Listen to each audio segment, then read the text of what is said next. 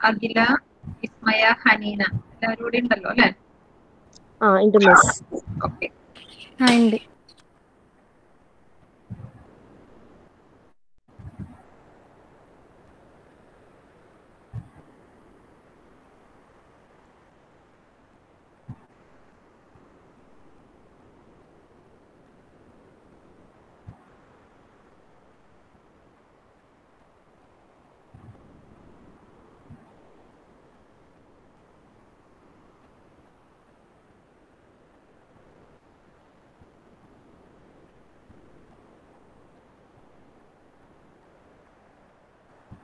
Sir എത്രയും പെട്ടെന്ന് Binu sir എത്രയും പെട്ടെന്ന് നമ്മോടൊപ്പം ജോയിൻ ചെയ്യും. ഇവിടെ N S S students volunteers എല്ലാവരും തന്നെ എത്തിയിട്ടുണ്ട്. I'm very happy okay okay thank you അങ്ങനെയാണെങ്കിൽ നമുക്ക് പ്രോഗ്രാം സ്റ്റാർട്ട് ചെയ്യാം. മനസ്സ് നന്നാവട്ടെ. ഇന്ന് ലഹരി വിമുക്ത ദിനം.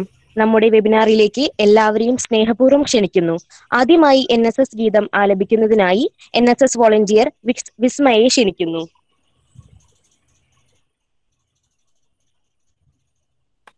മനസ്സ് നന്നാവട്ടെ. മതമേതെങ്കിലുമാകട്ടെ. മാനവരത്തിൻ ചില്ലയിലെല്ലാം മാൻപുകൾ വിടരട്ടെ ഏ മനസ്സ് നന്നാവട്ടെ മതമേതെങ്കിലുമാകട്ടെ മാനവരത്തിൻ ചില്ലയിലെല്ലാം മാൻപുകൾ വിടരട്ടെ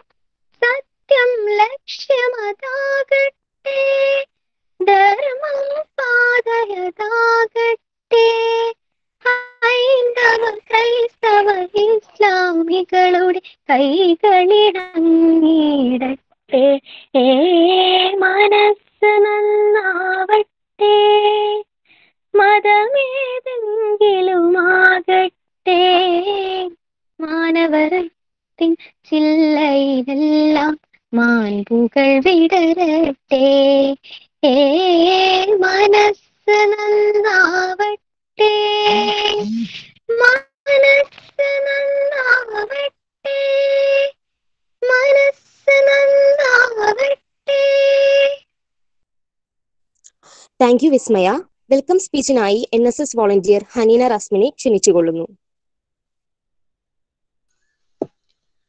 മനസ്സു നന്നാവട്ടെ. ജൂൺ ഇരുപത്തിയാറ് ലോക ലഹരി വിരുദ്ധ ദിനത്തോടനുബന്ധിച്ച് N S S unit M E S Asmabi college P വെമ്പലൂരിന്റെ നേതൃത്വത്തിൽ legal aspects of drug abuse and illicit trafficking എന്ന വിഷയത്തെ ആധാരമാക്കിക്കൊണ്ട് ഇന്ന് നടക്കുന്ന വെബിനാറിൽ സന്നിഹിതരായിരിക്കുന്നവരാണ് നമ്മൾ ഓരോരുത്തരും. സമൂഹത്തെ നാശത്തിലേക്ക് നയിക്കുന്ന ലഹരി മരുന്നുകൾ ജീവിതത്തിൽ നിന്നും തുടച്ചു മാറ്റുക എന്ന ലക്ഷ്യത്തോടെയാണ് ലോകരാജ്യങ്ങൾ ലഹരി വിരുദ്ധ ദിനം ആചരിക്കുന്നത്. ഹാനികരമാണ് എന്നറിഞ്ഞിട്ടുകൂടി നമുക്ക് ചുറ്റും ലഹരി മരുന്നുകൾ ഉപയോഗിക്കുന്നവരുടെ എണ്ണം കുറവല്ല. ലോക്ക്ഡൌൺ പ്രഖ്യാപിച്ച സമയത്ത് മദ്യവും ലഹരി മരുന്നുകളും ലഭിക്കാതെ ആത്മഹത്യ ചെയ്തവരുടെ വാർത്ത ഏറെ ഞെട്ടലോടെയാണ് നമ്മൾ കേട്ടത്. പ്രസ്തുത വെബിനാറിലേക്ക് ഏവരെയും സ്വാഗതം ചെയ്യുക എന്ന കർത്തവ്യത്തിലേക്ക് ഞാൻ കടക്കുകയാണ്. ആദ്യമായി ഇന്നത്തെ നമ്മുടെ resource person circle inspector of excise Kodungallur Shri Binukumar P L സാറിനെ ഏറെ ആദരവോടെയും ബഹുമാനത്തോടെയും ഈ പരിപാടിയിലേക്ക് സ്വാഗതം ചെയ്യുകയാണ്. അടുത്തതായി എൻ എസ് എസിന്റെ കൂടെ എല്ലാ പ്രവർത്തനങ്ങളിലും പങ്കാളിയായി നമ്മോടൊപ്പം ഒരുമിച്ച് നിന്ന് പ്രവർത്തിക്കുന്ന നമ്മുടെ പ്രിൻസിപ്പൽ ഡോക്ടർ എ ബിജു സാറിനെ ഏറെ ബഹുമാനത്തോടെ സ്വാഗതം ചെയ്യുകയാണ്.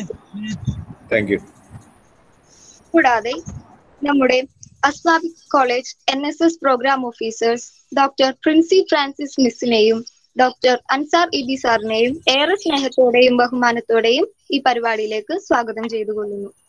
താങ്ക് യു അടുത്തതായി ഈ വെബിനാറിൽ പങ്കെടുക്കാൻ എത്തിയിട്ടുള്ള നമ്മുടെ എൻ എസ് എസ് വോളണ്ടിയേഴ്സിനെയും വിദ്യാർത്ഥി സുഹൃത്തുക്കളെയും ഏറെ സ്നേഹത്തോടെയും നിറഞ്ഞ മനസ്സോടെയും ഈ പരിപാടിയിലേക്ക് സ്വാഗതം ചെയ്തുകൊള്ളുന്നു. തീർച്ചയായും ഇന്നത്തെ നമ്മുടെ പരിപാടി വലിയ വിജയകരമാകട്ടെ എന്ന് ആശംസിച്ചുകൊണ്ട് നിർത്തുന്നു. Thank you thank you Haneena introductory സ്പീച്ചിനായി N S S programme officer doctor Princy Francis മാമിനെ ക്ഷണിക്കുന്നു. മനസ്സ് നന്നാവട്ടെ. ബഹുമാനപ്പെട്ട പ്രിൻസിപ്പൽ ഡോക്ടർ എ ബിജു. ഇന്നത്തെ chief guest C I Binukumar P L C I of excise department Kodungallur. N S S program officer doctor Ansar E B ഇന്നത്തെ ഈ programme coordinate ചെയ്തിരിക്കുന്ന pain and palliative health wing. Welcome speech പറഞ്ഞ Haneena. N S S song വളരെ മനോഹരമായി ആലപിച്ച വിസ്മയ. Anchoring നടത്തുന്ന അഖില. Photo thanks പറയുന്ന അനീന. ഇവിടെ കൂടിയിരിക്കുന്ന എൻ എസ് എസ് വോളണ്ടിയേഴ്സ് അതുപോലെ കോളേജിലുള്ള മറ്റു വിദ്യാർത്ഥി വിദ്യാർത്ഥിനികളെ എല്ലാവർക്കും നമസ്കാരം. ജൂൺ ഇരുപത്തി ആറ് നമ്മൾ ലോക ലഹരി വിരുദ്ധ ദിനമായി ആചരിക്കുന്നു. എന്തുകൊണ്ടും യുവജനങ്ങളിൽ ഇന്ന് കൂടിക്കൊണ്ടിരിക്കുന്ന അരക്ഷിതാവസ്ഥ അല്ലെങ്കിൽ ഇന്ന് നമുക്കറിയാം കോവിഡുമായി ബന്ധപ്പെട്ട് എല്ലാവരും വീട്ടിൽ ഒറ്റപ്പെട്ടിരിക്കുകയാണ്. ഈ ഒറ്റപ്പെട്ടിരിക്കുന്ന അവസ്ഥകൾ ഈ കുട്ടികൾ ഒറ്റപ്പെടുത്തിയിരിക്കുന്ന അവസ്ഥകൾ അതുപോലെ അനാവശ്യമായ കൂട്ടുകെട്ടുകൾ കൂട്ടുകെട്ടുകൾ ഇല്ലായ്മ അതുപോലെ തന്നെ നമ്മുടെ എന്താ പറയാ മാനസികമായ പക്വത ഇല്ലായ്മ ഇതെല്ലാം ചിലപ്പോൾ ചിലരെയെങ്കിലും വഴി തെറ്റിക്കുന്നതായിട്ട് നമുക്ക് കാണാനായിട്ട് സാധിക്കും. എൻ എസ് എസ് വോളണ്ടിയേഴ്സ് എന്നുള്ള നിലയിൽ നമുക്ക് എല്ലാവർക്കും ഒരു കടമയുണ്ട്. നമ്മുടെ ചുറ്റുപാടുമുള്ള കുട്ടികൾ നമുക്ക് ചുറ്റുപാടുമുള്ള ലഹരി ഉപയോഗിക്കുന്നവരുണ്ടെങ്കിൽ അത് പ്രത്യേകം നോട്ട് ചെയ്യാനും അവർക്ക് വേണ്ട പിന്തുണ നൽകിക്കൊണ്ട് അവരെ അതിൽ നിന്ന് ഒഴിവാക്കുക. ലഹരി ഉപയോഗം മോശമാണെങ്കിലും അത് ഉപയോഗിക്കുന്ന വിദ്യാർത്ഥികൾ അല്ലെങ്കിൽ അത് അറിഞ്ഞോ അറിയാതെയോ അതിൽ വന്ന് വീഴുന്നവരാണ്. കൂട്ടുകെട്ടിന്റെ അടിസ്ഥാനത്തിൽ വെറുതെ ഒന്ന് സ്റ്റാർട്ട് ചെയ്ത ചില ശീലങ്ങളാണ് പിന്നീട് ദുശീലങ്ങളായി മാറുന്നതോ ഓരോരുത്തരുടെയും ഭാവി നശിച്ചു പോകുന്നത്. സന്തോഷം എന്നുള്ള രീതിയിൽ നമ്മൾ എല്ലാ ദുഃഖങ്ങളും മറന്ന് മൂവ് ചെയ്തുകൊണ്ടാണ് പലരും ഇതിൽ പെട്ടുപോകുന്നത്. ഇപ്പൊ പത്ത് ഇരുപത് വയസ്സിനുള്ളിൽ നമ്മൾ ഇതുപോലുള്ള കാര്യങ്ങളിൽ പെട്ടുപോയാൽ അത് നമ്മുടെ ബ്രെയിൻ ഡെവലപ്മെന്റിനെ ഒരുപാട് ബാധിക്കുന്നുണ്ട്. നമ്മുടെ ജീവിതം തന്നെ താറുമാറായി പോകുന്നു. അപ്പൊ ലക്ഷ്യബോധമുള്ള കുട്ടികൾ ആണെങ്കിൽ ലക്ഷ്യബോധം എന്തായി തീരണം എന്നുള്ള ഒരു ലക്ഷ്യം നമുക്കുണ്ടെങ്കിൽ ആ ലക്ഷ്യത്തിന് വേണ്ടി നമുക്ക് പോരാടാം. അങ്ങനെ പോരാടുമ്പോൾ നമുക്ക് കൃത്യമായി ആ ഒരു മൈൻഡ് പവർ സെൽഫ് കൺട്രോൾ നമുക്ക് ലഭിക്കും. ഏതെങ്കിലും കുട്ടികൾ അങ്ങനെ നമ്മുടെ ശ്രദ്ധയിൽപ്പെടാണെങ്കിൽ അവർക്ക് നമ്മൾ വഴികാട്ടിയായി മാറും. കൃത്യമായ കൗൺസിലിങ്ങും എല്ലാം കൊടുത്ത് നമുക്ക് അവരെ നേരായ പാതയിലോട്ട് കൊണ്ടുവരാനായിട്ട് സാധിക്കും. അപ്പോൾ നമ്മുടെ കോളേജിൽ എൻ എസ് എസിന്റെ പ്രവർത്തനങ്ങൾക്ക് എല്ലാ രീതിയിലും നമ്മുടെ പ്രിൻസിപ്പൾ നമ്മളോടൊപ്പം ഉണ്ട്. അതുപോലെ തന്നെ നമ്മുടെ എക്സൈസ് ഡിപ്പാർട്ട്മെന്റും കോളേജിന്റെ ഒപ്പം നമ്മളോടൊപ്പം ഉണ്ട്. നമ്മുടെ ഉന്നമനത്തിന് വേണ്ടി അല്ലെങ്കിൽ നല്ലൊരു ഭാവിക്ക് വേണ്ടി എല്ലാ വിദ്യാർത്ഥികളെയും കൈകോർത്ത് എല്ലാ വിദ്യാർത്ഥികളും ഒരുമിച്ച് കൈകോർത്ത് നമുക്ക് മുന്നേറാം.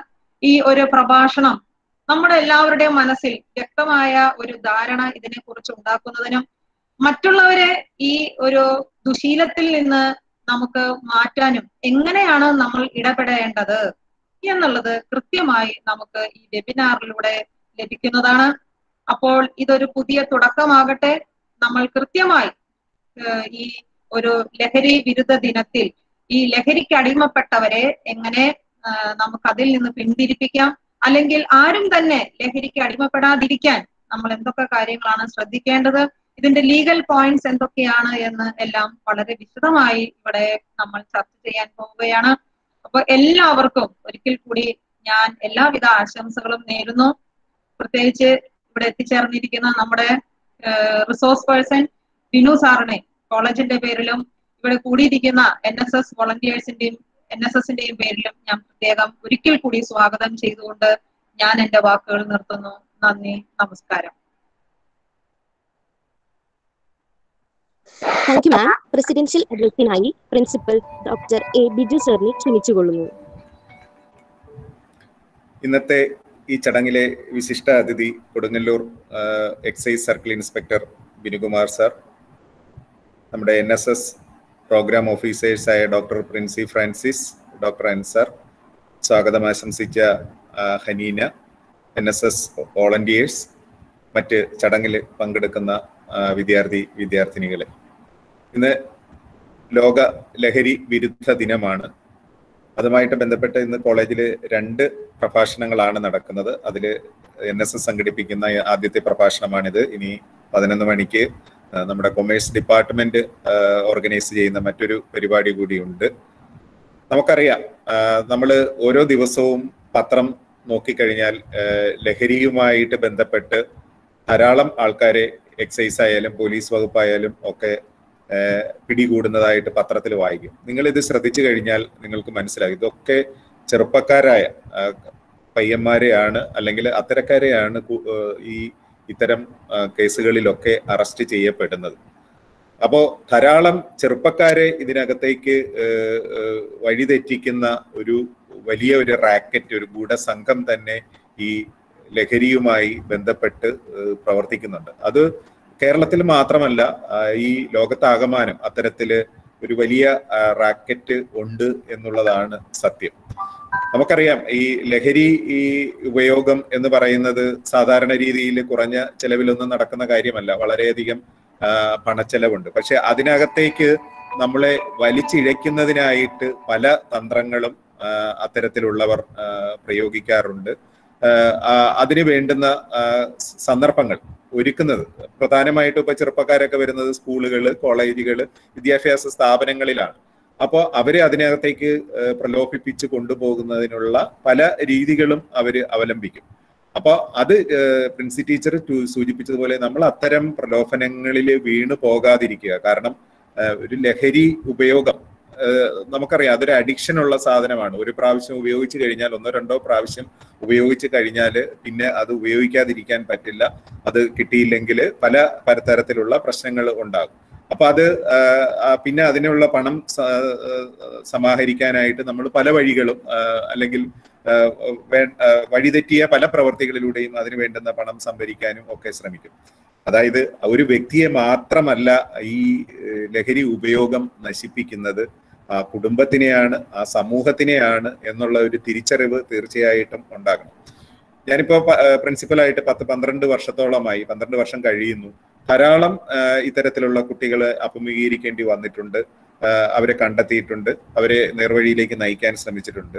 പലപ്പോഴും വളരെ മിടുക്കരായിട്ടുള്ള ധാരാളം കുട്ടികൾ ഇതിന് അടിമപ്പെടുന്നതായിട്ട് കണ്ടിട്ടുണ്ട്. പല സാഹചര്യങ്ങളിലൂടെ അവർ ഇതിലേക്ക് വന്നതാകാം. പക്ഷേ പിന്നീട് ഇതിൽ നിന്ന് മാറി വരാനായിട്ട് വളരെയധികം ബുദ്ധിമുട്ടുകയില്ല അല്ലെങ്കിൽ കൗൺസിലിംഗ് ആയാലും ഡി അഡിക്ഷൻ സെന്ററുകളിലായാലും ഒക്കെ കൊണ്ടുപോയാൽ പോലും അതിൽ നിന്ന് മോചനം നേടാൻ പറ്റാത്ത അവസ്ഥയിലേക്ക് മാറിയ ധാരാളം കുട്ടികളെ എനിക്കറിയാം.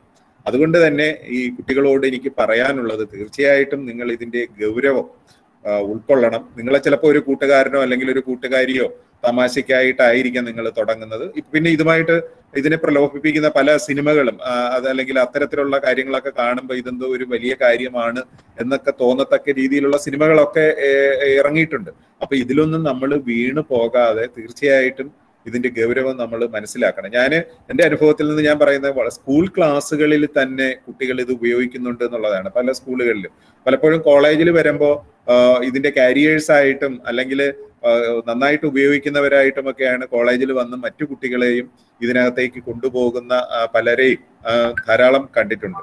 പക്ഷേ ഇതിൽ നിന്ന് പിന്തിരിപ്പിക്കാനും കഴിയുക തീർച്ചയായിട്ടും കൂട്ടുകാർക്കാണ് എന്നുള്ള കാര്യം മനസ്സിലാക്കുക. പലപ്പോഴും ഇത്തരം കാര്യങ്ങൾ റിപ്പോർട്ട് ചെയ്യുന്ന അതായത് അവരുടെ സുഹൃത്തുക്കൾ സ്വയം നശിച്ചു പോകണ്ട എന്നുള്ള രീതിയിൽ കുട്ടികൾ തന്നെയായിരിക്കും അവരുടെ ഫ്രണ്ട്സ് ഒക്കെ തന്നെയായിരിക്കും നമ്മളോട് റിപ്പോർട്ട് ചെയ്യുന്നത്. പക്ഷേ ഇതിനെയൊക്കെ അല്ലെങ്കിൽ ഇത്തരം റിപ്പോർട്ട് ചെയ്യുന്നവരെ ഭീഷണിപ്പെടുത്താനും അല്ലെങ്കിൽ അത് ഏതെങ്കിലും തരത്തിൽ അറിഞ്ഞാൽ അവരെ ബുദ്ധിമുട്ടിക്കാനും ഒക്കെ ഉള്ള ശ്രമങ്ങളൊക്കെ ഉണ്ടാകും. പക്ഷേ നമ്മൾ തിരിച്ചറിയേണ്ടത് തീർച്ചയായിട്ടും ഒരു തലമുറയെ തന്നെയാണ് നമ്മൾ നശിപ്പിക്കുന്ന ഒരു സമൂഹത്തെ തന്നെയാണ് നശിപ്പിക്കുന്നത്. നമ്മൾ ഓരോ ദിവസവും ഈ ഇത്തരം ഈ ഇത്തരം ലഹരി വിരുദ്ധ ദിനങ്ങളും ക്യാമ്പയിനിങ്ങും ഒക്കെ നടക്കുന്നുണ്ടെങ്കിൽ പോലും ധാരാളം ആൾക്കാർ ഇതിനകത്തേക്ക് വരുന്നുണ്ട് വീഴുന്നുണ്ട് എന്നുള്ള കാര്യം സത്യം തന്നെയാണ്. പക്ഷേ തീർച്ചയായിട്ടും അതിന്റെ ഗൗരവം നമ്മൾ ഉൾക്കൊണ്ട് കഴിയണം. വളരെ ചെറുപ്പത്തിലൊക്കെ ഇതിൽ വീണിട്ട് പിന്നീട് അവരുടെ ഭാവി തന്നെ ഇല്ലാതാകുക അവസാന അഡിക്ഷനിലേക്ക് വന്നിട്ട് അവർ ആരോഗ്യമൊക്കെ നശിച്ച് മരണപ്പെട്ട് വളരെ ചെറുപ്പത്തിൽ തന്നെ മരിച്ചു പോകുന്ന അവസ്ഥകളൊക്കെയാണ് ഉണ്ടാകുന്നത്. നിങ്ങൾ നോക്കിയറിയാം ഇതെല്ലാം ഉപയോഗിക്കുന്നവർ കൂടുതൽ ചെറുപ്പക്കാരാണ്. കാരണം ചെറുപ്പത്തിലേക്ക് ഉപയോഗിച്ചു കഴിഞ്ഞാൽ അവർ എത്ര വയസ്സ് വരെ ജീവിച്ചിരിക്കും എന്നുള്ളതൊക്കെ കണ്ടറിയേണ്ട കാര്യങ്ങളാണ്. അപ്പോൾ അതുകൊണ്ട് യാതൊരു കാരണവശാലും ഇത്തരം കാര്യങ്ങളിൽ പ്രിയപ്പെട്ട കുട്ടികൾ പോയി വീഴരുത്. അതിൽ തന്നെ എൻ എസ് എസ് വോളണ്ടിയേഴ്സിന് ഇത്തരം കാര്യങ്ങൾ ക്യാമ്പസുകളിൽ നടക്കുന്നതിനെതിരായിട്ടുള്ള പ്രചാരണ പ്രവർത്തനങ്ങൾ ഇത്തരം ക്യാമ്പ് ഇതിനെതിരെയുള്ള ക്യാമ്പയിനിങ്ങും ഒക്കെ തീർച്ചയായിട്ടും നിങ്ങൾ സംഘടിപ്പിക്കണം. എക്സൈസ് വകുപ്പ് പോലുള്ള പോലീസ് വകുപ്പായാലും അവരൊക്കെ വളരെയധികം സപ്പോർട്ട് നമുക്ക് ഇത്തരം പ്രവർത്തനങ്ങളിൽ തരുന്നുണ്ട്. ഇന്നിപ്പോ നമ്മളോട് സംസാരിക്കുന്ന ശ്രീ ബിനുകുമാർ അദ്ദേഹം അതിന്റെ നിയമവശങ്ങളെ കുറിച്ചാണ് പറയുന്നത്. ഞാൻ ഈ എന്റെ സംസാരത്തിൽ ഞാൻ പറഞ്ഞ അത് കൊണ്ടുണ്ടാകുന്ന ദൂഷ്യങ്ങളാണ്. നിങ്ങൾ ഇനി ഏതെങ്കിലും കുട്ടികളെയൊക്കെ ഇതുമായിട്ട് ബന്ധപ്പെട്ട് പിടിക്കപ്പെട്ട് കഴിഞ്ഞാൽ ഇത് ക്രിമിനൽ കേസാണ് തീർച്ചയായിട്ടും പിന്നെ നിങ്ങളുടെ ഭാവി അതോടുകൂടി അവസാനിക്കുകയാണ് എന്നുള്ള കാര്യം കൂടി ഞാൻ നിങ്ങളോട് പറയാണ്. കാരണം എനിക്ക് തന്നെ അനുഭവം ഉള്ളതാണ്. ഇത് ഇതുമായി ബന്ധപ്പെട്ട് പിടിക്കപ്പെട്ട കുട്ടികൾക്ക് പിന്നെ കോളേജിൽ പഠിക്കാൻ കഴിയില്ല. കാരണം ഒരു ക്രിമിനൽ കേസിൽ പെട്ട ഒരാൾക്ക് തീർച്ചയായിട്ടും കോളേജിൽ തുടർ പഠനം ഒരു വിദ്യാഭ്യാസ സ്ഥാപനത്തിലും തുടർ പഠനം നടത്താൻ കഴിയില്ല. അവരുടെ ഭാവി അത്തരത്തിലും അവരുടെ ഭാവി നശിച്ചു പോവുകയാണ്. പിന്നെ ഇതുമായിട്ട് ബന്ധപ്പെട്ട ലീഗൽ പ്രശ്നങ്ങളൊക്കെ വളരെ അധികം ഗുരുതരമായ പ്രശ്നങ്ങളിലേക്കാണ് പോകാൻ പോകേണ്ടി വരുന്നത്. അതുകൊണ്ട് അതിനെ എല്ലാ രീതിയിലും എല്ലാ ആസ്പെക്റ്റിലും അത് ആരോഗ്യപരമായ പ്രശ്നങ്ങൾ നമ്മുടെ മാനസികമായ പ്രശ്നങ്ങൾ ധനപരമായ പ്രശ്നങ്ങൾ നമ്മുടെ എന്താ വിദ്യാഭ്യാസപരമായിട്ടുണ്ടാകാവുന്ന പ്രശ്നങ്ങൾ സമൂഹത്തിനുണ്ടാക്കാവുന്ന ദോഷങ്ങൾ ഇതെല്ലാം ഉൾക്കൊണ്ടുകൊണ്ട് തീർച്ചയായിട്ടും ഇതിന്റെ ഗൗരവം മനസ്സിലാക്കണം എന്നാണ് എനിക്ക് പറയാനുള്ളത്. ഞാൻ അധികം ദീർഘിപ്പിക്കുന്നില്ല. നമ്മുടെ വിശിഷ്ട അതിഥി വിനുകുമാർ സാറ് നമ്മുടെ ക്ഷണം സ്വീകരിച്ച് ഈ ചടങ്ങിൽ പങ്കെടുക്കുന്ന അദ്ദേഹത്തിന് കോളേജിന്റെ നന്ദിയും കടപ്പാടും അറിയിച്ചുകൊണ്ട് ഈ പരിപാടിക്ക് എല്ലാവിധ ആശംസകളും നേർന്നുകൊണ്ട് ഞാൻ അവസാനിപ്പിക്കുന്നു. നന്ദി നമസ്കാരം. Thank you sir legal aspects of drug abuse and illicit trafficking എന്ന വിഷയത്തിൽ വെബിനാർ അവതരിപ്പിക്കുന്നതിനായി നമ്മുടെ special guest S I Binukumar സാറിനെ ക്ഷണിക്കുന്നു.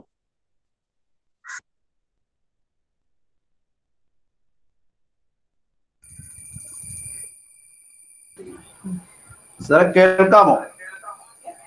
ആ കേൾക്കാം sir okay thank you thank you പേർക്ക് നമസ്കാരം. നമ്മുടെ അതിലെ പ്രിൻസിപ്പൾ ബിജു സാറ് പ്രത്യേകിച്ച് എൻ എസ് എസിന്റെ കോർഡിനേറ്റർ നമ്മളെ Princy Francis madam Ansar sir മറ്റു അധ്യാപകർ വെബിനാറിലായിരിക്കുന്ന സ്റ്റുഡൻസ് ഇന്ന് ജൂൺ ഇരുപത്തി ആറ് ലോക ലഹരി വിരുദ്ധ ദിനമാണ്. നമ്മൾ എല്ലാ വർഷവും ലഹരി വിരുദ്ധ ദിനം ആചരിക്കാറുണ്ട് ഇപ്രാവശ്യം പക്ഷേ ഒരു പാൻഡമിക് സിറ്റുവേഷനിൽ ഒരു വ്യത്യസ്ത മീഡിയയിലൂടെ നമ്മളിങ്ങനെ ഒരുമിച്ച് കൂടിയിരിക്കുകയാണ്. സാർ നമ്മൾ നേരിട്ടായിരുന്നെങ്കിൽ കഴിഞ്ഞ വർഷവും ഈ വർഷവും നമുക്ക് പ്രകാരം ഒരുമിച്ച് കൂടാൻ സാധിച്ചില്ല.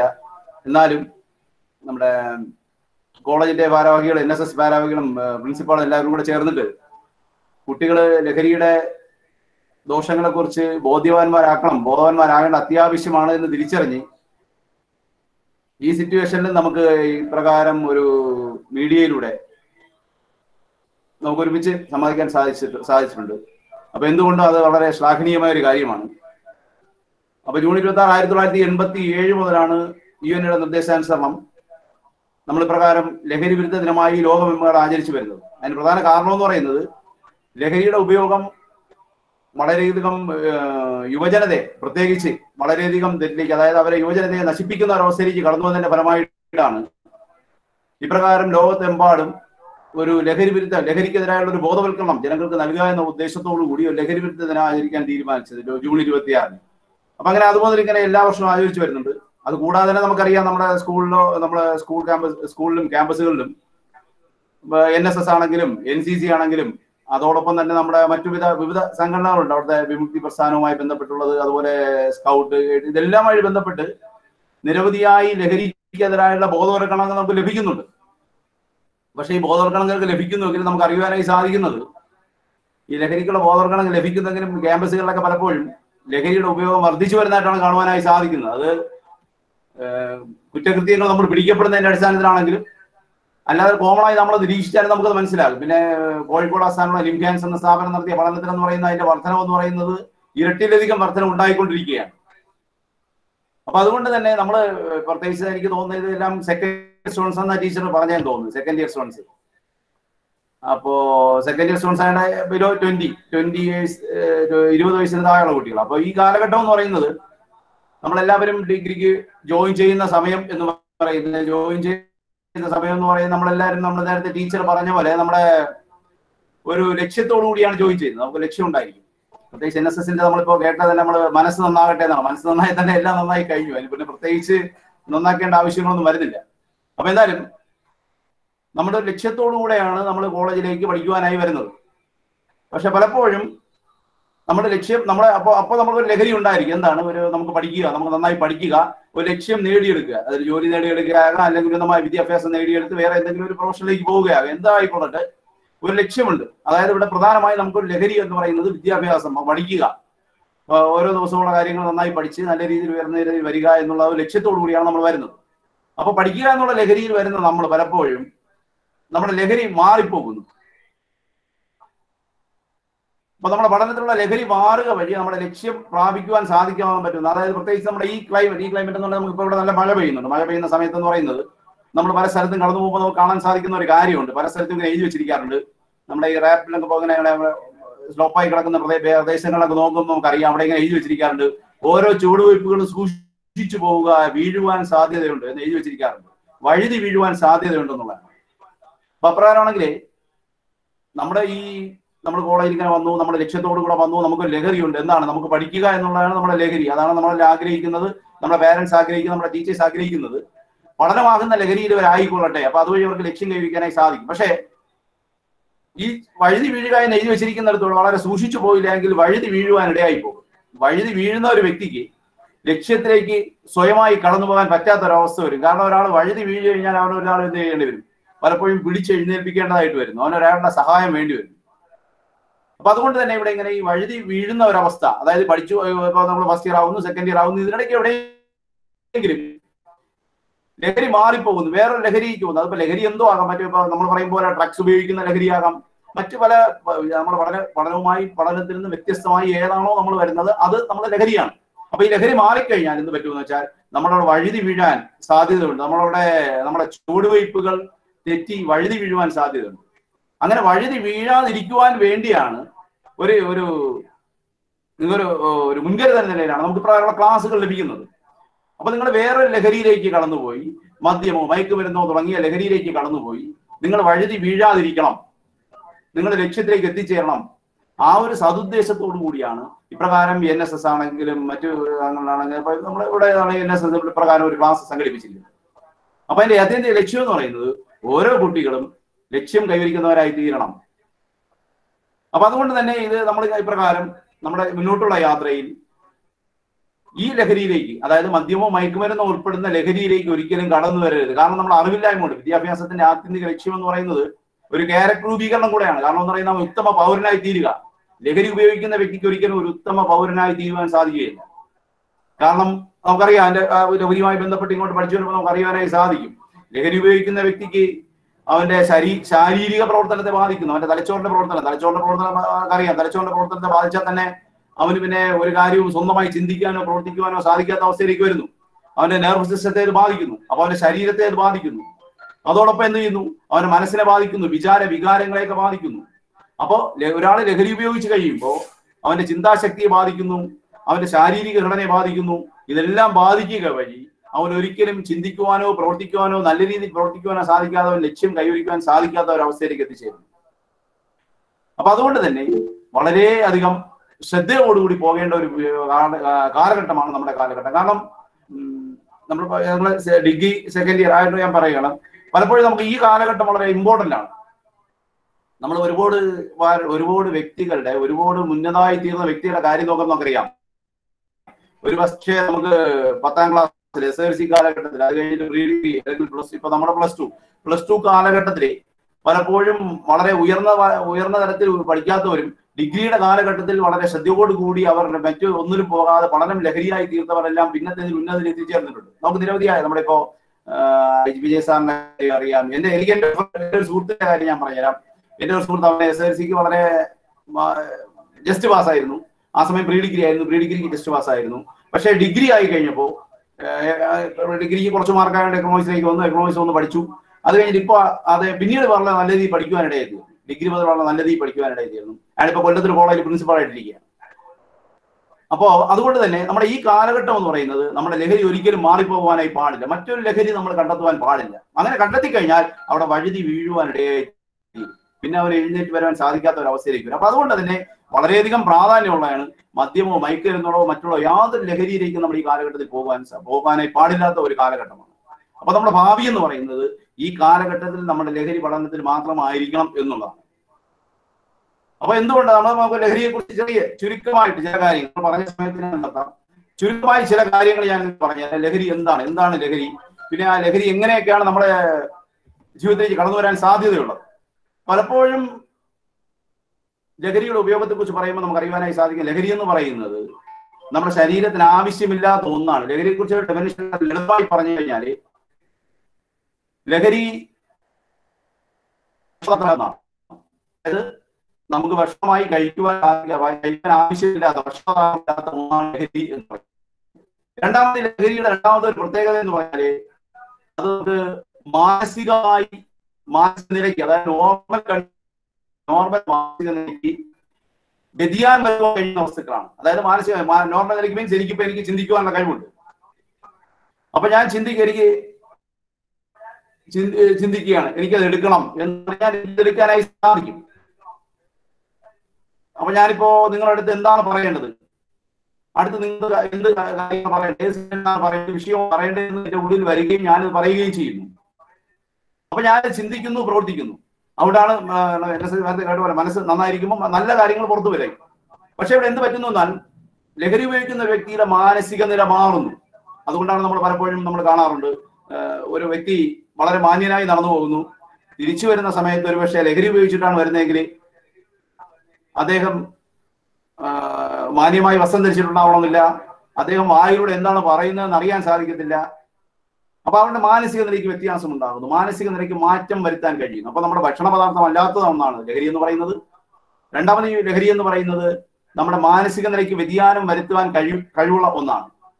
നമ്മുടെ എന്റെ നമുക്ക് തന്നെ അറിയാവുന്ന പലരും ഉണ്ട്. നമ്മുടെ ഓഫീസിനെ പലരും പറയാനുള്ള കാര്യമാണ്. ആ വ്യക്തി മദ്യപിച്ചില്ല എങ്കിൽ ആ വ്യക്തി ലഹരിയിൽ ഉപയോഗിക്കാതിരിക്കുന്നു കഴിഞ്ഞാൽ ഈ വ്യക്തി നല്ല വ്യക്തിയാണ്. നല്ല എന്ത് പറഞ്ഞാലും ചെയ്യും. നല്ല നല്ല വ്യക്തിയാണ്. പക്ഷെ ഉപയോഗിച്ചു കഴിഞ്ഞാൽ ഈ വ്യക്തിയെ പോലെ മോശമായ ഒരു വ്യക്തിയില്ല അപ്പൊ ഇതാണ് ലഹരി. അവന്റെ ചിന്താശക്തിയെല്ലാം പോകുന്നു. അവന് മാനസിക നിലയ്ക്ക് ഒരു വ്യതിയാനം ഉണ്ടാകുന്നു. അവന് സ്വയമായി ചിന്തിക്കാനോ അവന് സ്വയമായി മനസ്സിലാക്കാനോ കഴിയാത്ത ഒരു അവസ്ഥ ഉണ്ടാകുന്നു മൂന്നാമെന്ന് പറയുന്നത് ഈ ലഹരി എന്ന് അപ്പൊ ഞാൻ രണ്ട് കാര്യങ്ങൾ പറഞ്ഞു. ലഹരി എന്ന് പറയുന്നത് ഒരു ഭക്ഷണ പദാർത്ഥമല്ല നമ്മൾ ഭക്ഷണം കഴിക്കുന്നത് എന്ന് പറയുന്നത് ശരീരത്തിന് ഊർജം ലഭിക്കണം ശരീരത്തിന് വളർച്ച ഉണ്ടാവണം. അപ്പൊ ഇത് രണ്ടും ലഹരിയിൽ നിന്ന് ലഭിക്കുന്നില്ല. അപ്പൊ നമ്മുടെ ശരീരത്തിന് ആവശ്യമില്ലാത്തതാണ് ഒന്നാമത്തെ കാര്യം. ഒന്നാമത്തെ കാര്യം നമ്മുടെ ശരീരത്തിന് ലഹരി ആവശ്യമില്ലാത്ത ഒന്നാണ്. രണ്ടാമത്തത് നമ്മുടെ ചിന്താശക്തിക്ക് നമുക്ക് ചിന്തിച്ച് പ്രവർത്തിക്കുവാൻ ഈ ലഹരി ആവശ്യമില്ല. മാനസിക നിലയ്ക്ക് വ്യതിയാനം വരുത്തുന്നു. നോർമൽ കണ്ടീഷന് വ്യതിയാനം വരുത്തുന്നു. മൂന്നാമത് നോക്കുമ്പോൾ വളരെ ശ്രദ്ധിക്കുക വൈദ്യശാസ്ത്ര പ്രകാരം നമ്മുടെ ശരീരത്തിന് നമ്മുടെ മനസ്സിനോ ആവശ്യമില്ല എന്ന് കരുതപ്പെടുന്നതാണ് ഈ ലഹരി എന്ന് പറയുന്നത്. വൈദ്യശാസ്ത്ര പ്രകാരം ഒരു വൈദ്യശാസ്ത്ര പ്രകാരവും നമുക്ക് പറയാനേ സാധിക്കില്ല. ഒരു ഡോക്ടറും ചോദിക്കും പറയില്ല ഈ ലഹരി ഇവൻ ആവശ്യമുണ്ട് ഇവന്റെ ശരീരത്തിന് ആവശ്യമുണ്ട് അല്ലെങ്കിൽ ഇവന്റെ ചിന്താശക്തിക്ക് ആവശ്യമുണ്ട് എന്നൊരു വൈദ്യശാസ്ത്രത്തിലും പ്രൂവ് ചെയ്യപ്പെട്ടിട്ടില്ല. അപ്പൊ അത് പ്രകാരമാണെങ്കിൽ വൈദ്യശാസ്ത്ര പ്രകാരം നമ്മുടെ ശരീരത്തിനോ മനസ്സിനോ ആവശ്യമില്ല എന്ന് തെളിയിക്കപ്പെട്ടിട്ടുള്ള ഒന്നാണ് ലഹരി എന്ന് പറയുന്നത്. അപ്പൊ മൂന്ന് കാര്യങ്ങൾ ഞാൻ പറഞ്ഞു നമ്മുടെ ശരീരത്തിന് ആവശ്യമില്ല ഭക്ഷണ പദാർത്ഥമല്ല. രണ്ടാമത് രണ്ടാമത് പറഞ്ഞു മാനസികമായി നിലയ്ക്ക് വ്യതിയാനം വരുത്തുവാൻ സാധിക്കുന്ന ഒന്നാണ് ലഹരി എന്ന് പറയുന്നത്. മൂന്നാമത് വൈദ്യശാസ്ത്ര പ്രകാരം നമുക്ക് ആവശ്യമില്ല എന്ന് തെളിയിക്കപ്പെട്ടിട്ടുള്ള ഒന്നാണ് ലഹരി എന്ന് പറയുന്നത്. അപ്പൊ ഈ ലഹരിയെയാണ് പലരും ഒരു എന്തിനാണ് സ്വപ്ന ലോകത്തായിരിക്കുവാനോ ഒരു സുഖാനുഭൂതിക്കോ അല്ലെങ്കിൽ ഒരു ഉത്തേജനത്തിന് വേണ്ടിയോ അല്ലെങ്കിൽ വ്യത്യസ്തമായ ഒരു അവസ്ഥ അതായത് നോർമൽ കണ്ടീഷനിൽ വ്യത്യസ്തമായ എന്തെങ്കിലും ഉണ്ടാകാൻ വേണ്ടി താൽക്കാലികമായിട്ട് നശിക്കുക മറ്റുള്ള എല്ലാ മേഖലകളെയും നാശമുണ്ടാക്കുന്ന ഈ ലഹരി ഉപയോഗിക്കുന്നു. അപ്പൊ ലഹരി എന്ന് പറയുന്നത് പ്രധാനമായും നമ്മൾ ഓർക്കുക ഒരു ഭക്ഷണ പദാർത്ഥമല്ലാത്തതാണ്. നമ്മുടെ ശരീരത്തിന്റെ മാനസികാവസ്ഥയ്ക്ക് അവസ്ഥ നമ്മുടെ ശരീര മാനസികാവസ്ഥയ്ക്ക് വ്യതിയാനം ഉണ്ടാക്കുന്ന ഒന്നാണ്.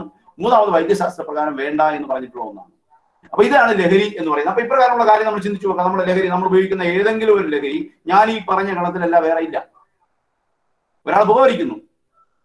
ചെറിയൊരു കാര്യമാണ് പുകവലിക്കുന്നു. അത് ലഹരിയാണ്. ചെറിയൊരു അടിസ്ഥാന ഘടകമാണ്. ലഹരി എന്ന് പറയുമ്പോൾ അത് മാത്രമല്ല ലഹരി എന്ന് പറയുന്നത് പുകവലിക്കുക അല്ലെങ്കിൽ നമ്മുടെ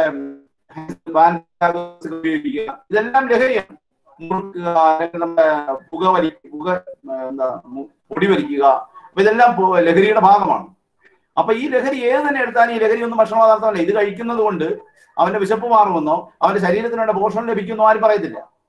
പിന്നെ ഇത് കഴിക്കുകയോ ഇത് വലിക്കുകയോ എന്തുണ്ടാവുന്നു? അവന്റെ മാനസിക നിലയ്ക്ക് വ്യത്യാസം ഉണ്ടാകുന്നു മൂന്നാമത് എല്ലാ ഡോക്ടേഴ്സും പറയും നീ ഇത് ഉപയോഗിക്കുന്നത് ചെയ്യുന്നത് നിന്റെ ശരീരത്തെ ബാധിക്കുന്നുണ്ട് ബാധിക്കുന്നുണ്ട്. നിനക്ക് ക്യാൻസർ വരാൻ സാധ്യതയുണ്ട്. അല്ലെങ്കിൽ അങ്ങോട്ടോട്ട് പോവുക. ഓരോന്ന് ഹാൻസ് പാൻപര ഉപയോഗിക്കുന്നു. നിന്റെ വായിൽ ക്യാൻസർ വരാൻ സാധ്യതയുണ്ട്. അതുപോലെ മദ്യം ഉപയോഗിക്കുന്നു. പിന്നെ നർവ് സിസ്റ്റത്തെ ബാധിക്കുന്നു രസോണ്ടെ ബാധിക്കുന്നു.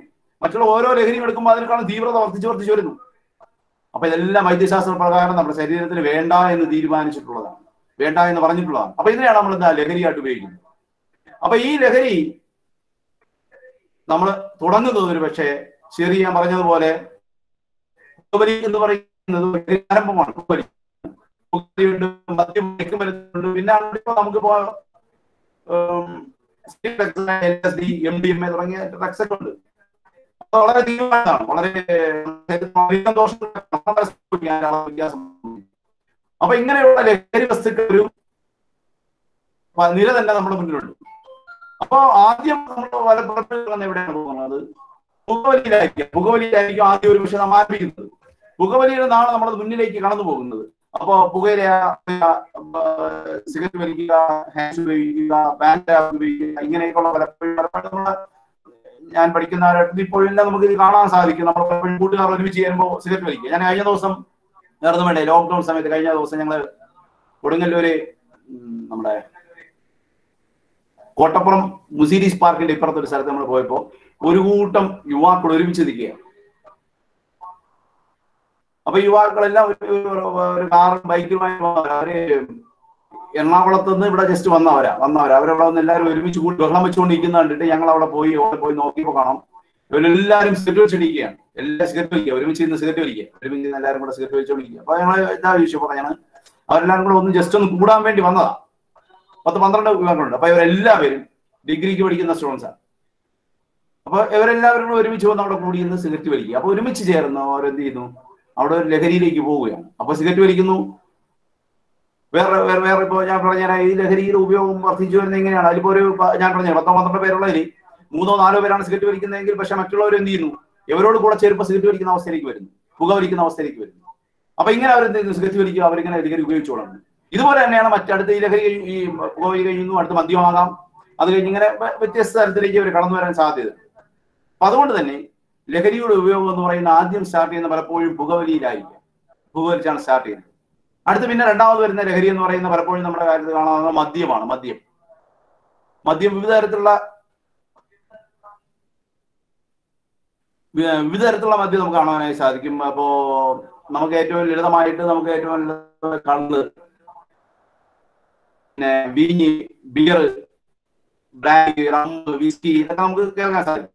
ഏറ്റവും ബേസാണ് കള്ളം എന്ന് പറയുന്നത് മദ്യത്തെ കുറിച്ച് ബേസിക് ആയിട്ടുള്ള ഒരു കാര്യം പറയാം. മദ്യം എന്ന് പറയുന്നത് നമ്മൾ എന്തുകൊണ്ടാണ് നമ്മളിങ്ങനെ വിവിധ തരത്തിലുള്ള മദ്യത്തെ മദ്യം ഈതയിൽ അടിസ്ഥാനത്തിലാണ് ഈ മദ്യത്തെ ഇങ്ങനെ വിവിധമായി വേർതിരിച്ച് വെച്ചിരിക്കുന്നത്. ഇങ്ങനെ വിവിധമായി വേർതിരിച്ച് അതായത് കള്ളിലാണെങ്കിൽ നമ്മൾ താഴെ മാത്രമേ ആൾക്കഹോൾ കണ്ടുണ്ടാകത്തുള്ളൂ അത് കഴിഞ്ഞ് കൂടി കൂടി വരുമ്പോൾ നമ്മളിപ്പോ ബ്രാൻഡി വിസ്കി ഇതൊക്കെ വരുമ്പോൾ ഫോർട്ടി ടു പെർസെന്റ് ആൽക്കഹോൾ ഉണ്ടാവും. അപ്പൊ ഇങ്ങനെ അതിനിടയ്ക്ക് ആൽക്കഹോളിന്റെ അടിസ്ഥാനത്തിലാണ് ഇതിങ്ങനെ വേർതിരിച്ച് വെച്ചിരിക്കുന്നത്. അപ്പൊ ഈ മദ്യം കഴിക്കുമ്പോൾ അവൻ ആവാശയത്തെയും അവന്റെ തലച്ചോറിന്റെ പ്രവർത്തനത്തെ എല്ലാം ഇത് ബാധിക്കുന്നുണ്ട്. പക്ഷെ ഇതെല്ലാം കഴിക്കുമ്പോൾ അതുപോലെ നമുക്ക് മയക്കുമരുന്നുകളുണ്ട്. മയക്കുമരുന്നുകൾ മയക്കുമരുന്നുകളെ ജസ്റ്റ് ഒന്ന് ഞാൻ ഒന്ന് സൂചിപ്പിക്കാന്നുള്ളൂ. മയക്കുമരുന്നുകൾ എന്ന് പറയുന്നത് കഞ്ചാവ് ഹാഷ് ഓയിൽ കറുപ്പ് heroin poppy brown sugar diazepam ഇതെല്ലാം വിശദമായിട്ട് എപ്പോഴെങ്കിലും ഒരു ക്ലാസ് വരാൻ നമുക്ക് ചെയ്യാം. അപ്പൊ ബ്രൂബിനോമിൻ ഇങ്ങനെ നിരവധിയായ മയക്കുമരുന്നുകളുണ്ട്.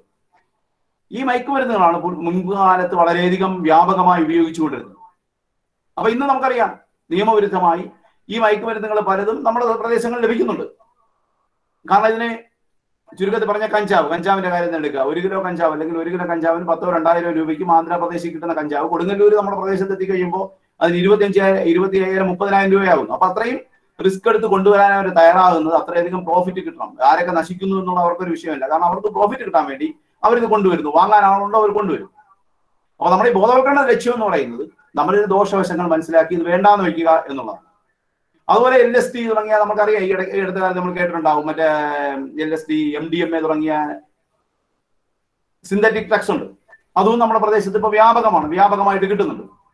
അപ്പൊ ഇങ്ങനെ നിരവധിയായുള്ള കാര്യങ്ങളുണ്ട്. അപ്പൊ ഇതെല്ലാം വിശദമായിട്ട് നമുക്ക് സ്ലൈഡ് വെച്ചിട്ട് എപ്പോഴെങ്കിലും ഒരിക്കൽ എടുക്കാം. ഓക്കെ. അപ്പോ ഇങ്ങനെ നിരവധിയായുള്ള ഇതുണ്ട്. അപ്പൊ ഇതെല്ലാം മാരകമായ കുറ്റകൃത്യങ്ങൾ കൂടെയാണ്. ഇപ്പൊ L S D M D M ഒക്കെ ആണ് ചെറിയ പോയിന്റ് ചെറിയൊരു ശതമാനം പോലും നമ്മുടെ കയ്യിലുണ്ട് എങ്കിൽ അത് മാരകമായി അതായത് പത്ത് വർഷത്തോളം ശിക്ഷ കിട്ടുന്ന കുറ്റമാണ്. പലരും അറിഞ്ഞുകൂടാതെ പലരും സംഭവിക്കുന്നുണ്ട്. നിരവധിയായ സംഭവങ്ങളുണ്ട് നിരവധിയായ സംഭവങ്ങൾ. ഞങ്ങൾ ഞാൻ നേരത്തെ ഒരു ഓഫീസിൽ ഇരിക്കുന്ന സമയത്ത് അവിടെ എന്ന് പറഞ്ഞാൽ ഒരു രണ്ട് സുഹൃത്തുക്കൾ വന്നിട്ട് റെയിൽവേ സ്റ്റേഷനിൽ ഇറങ്ങുന്നു. റെയിൽവേ സ്റ്റേഷനിൽ പോകുന്ന വഴിക്ക് ഞങ്ങൾ രണ്ടുപേരെയും ഇങ്ങനെ ഒരു സംശയം തോന്നിപ്പിടി. അവരിങ്ങനെ ഒരു- ഒരാളിന്റെ ഭാവ വ്യത്യാസം കണ്ട് ഞങ്ങൾ പിടിക്കുന്നു. പിടിച്ചിട്ട് ഞങ്ങൾ ഓഫീസിലേക്ക് കൊണ്ടുവരുന്നു. ഓഫീസിലേക്ക് കൊണ്ടുവന്ന് പരിശോധിച്ച് കഴിഞ്ഞപ്പോൾ അതിൽ ഒരാളുടെ ബാഗിൽ നിന്ന് നമുക്ക് എന്ത് കിട്ടുന്നു? എം ഡി എം എ കിട്ടുന്നു.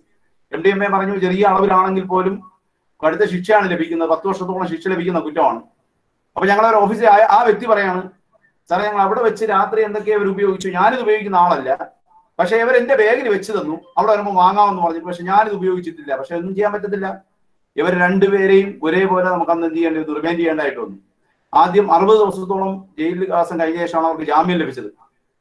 അപ്പൊ ഇത്രയധികം വലിയൊരു കുറ്റകൃത്യമാണ്. പലപ്പോഴും നമ്മുടെ കൂട്ടുകാരെങ്കിലും നമ്മളത് ശ്രദ്ധിക്കേണ്ട കാര്യം എന്ന് പറയുന്നത് ഇപ്രകാരം എന്തെങ്കിലും ഉപയോഗിക്കുന്ന വ്യക്തിയാണെങ്കിൽ അവരോട് നമ്മൾ വളരെ ഒരിക്കലും അടുക്കുവാനായി പാടില്ല.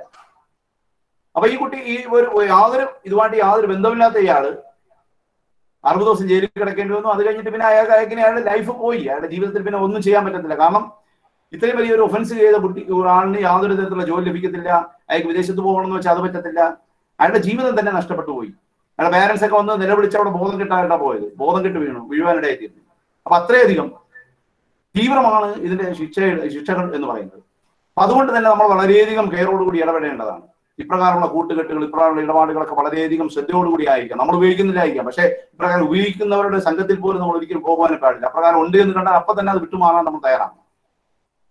അപ്പൊ അതാണ് ഇതിന്റെ പ്രധാനപ്പെട്ട ആത്യന്തിക ലക്ഷ്യം എന്ന് പറയുന്നത്. നമ്മളിതിനെ മനസ്സിലാക്കുക. നമുക്കിതിനെ കുറിച്ച് അറിവുണ്ടായിരിക്കണം. എന്താണ് എന്നുള്ള ഒരു അറിവുണ്ടായിരിക്കണം.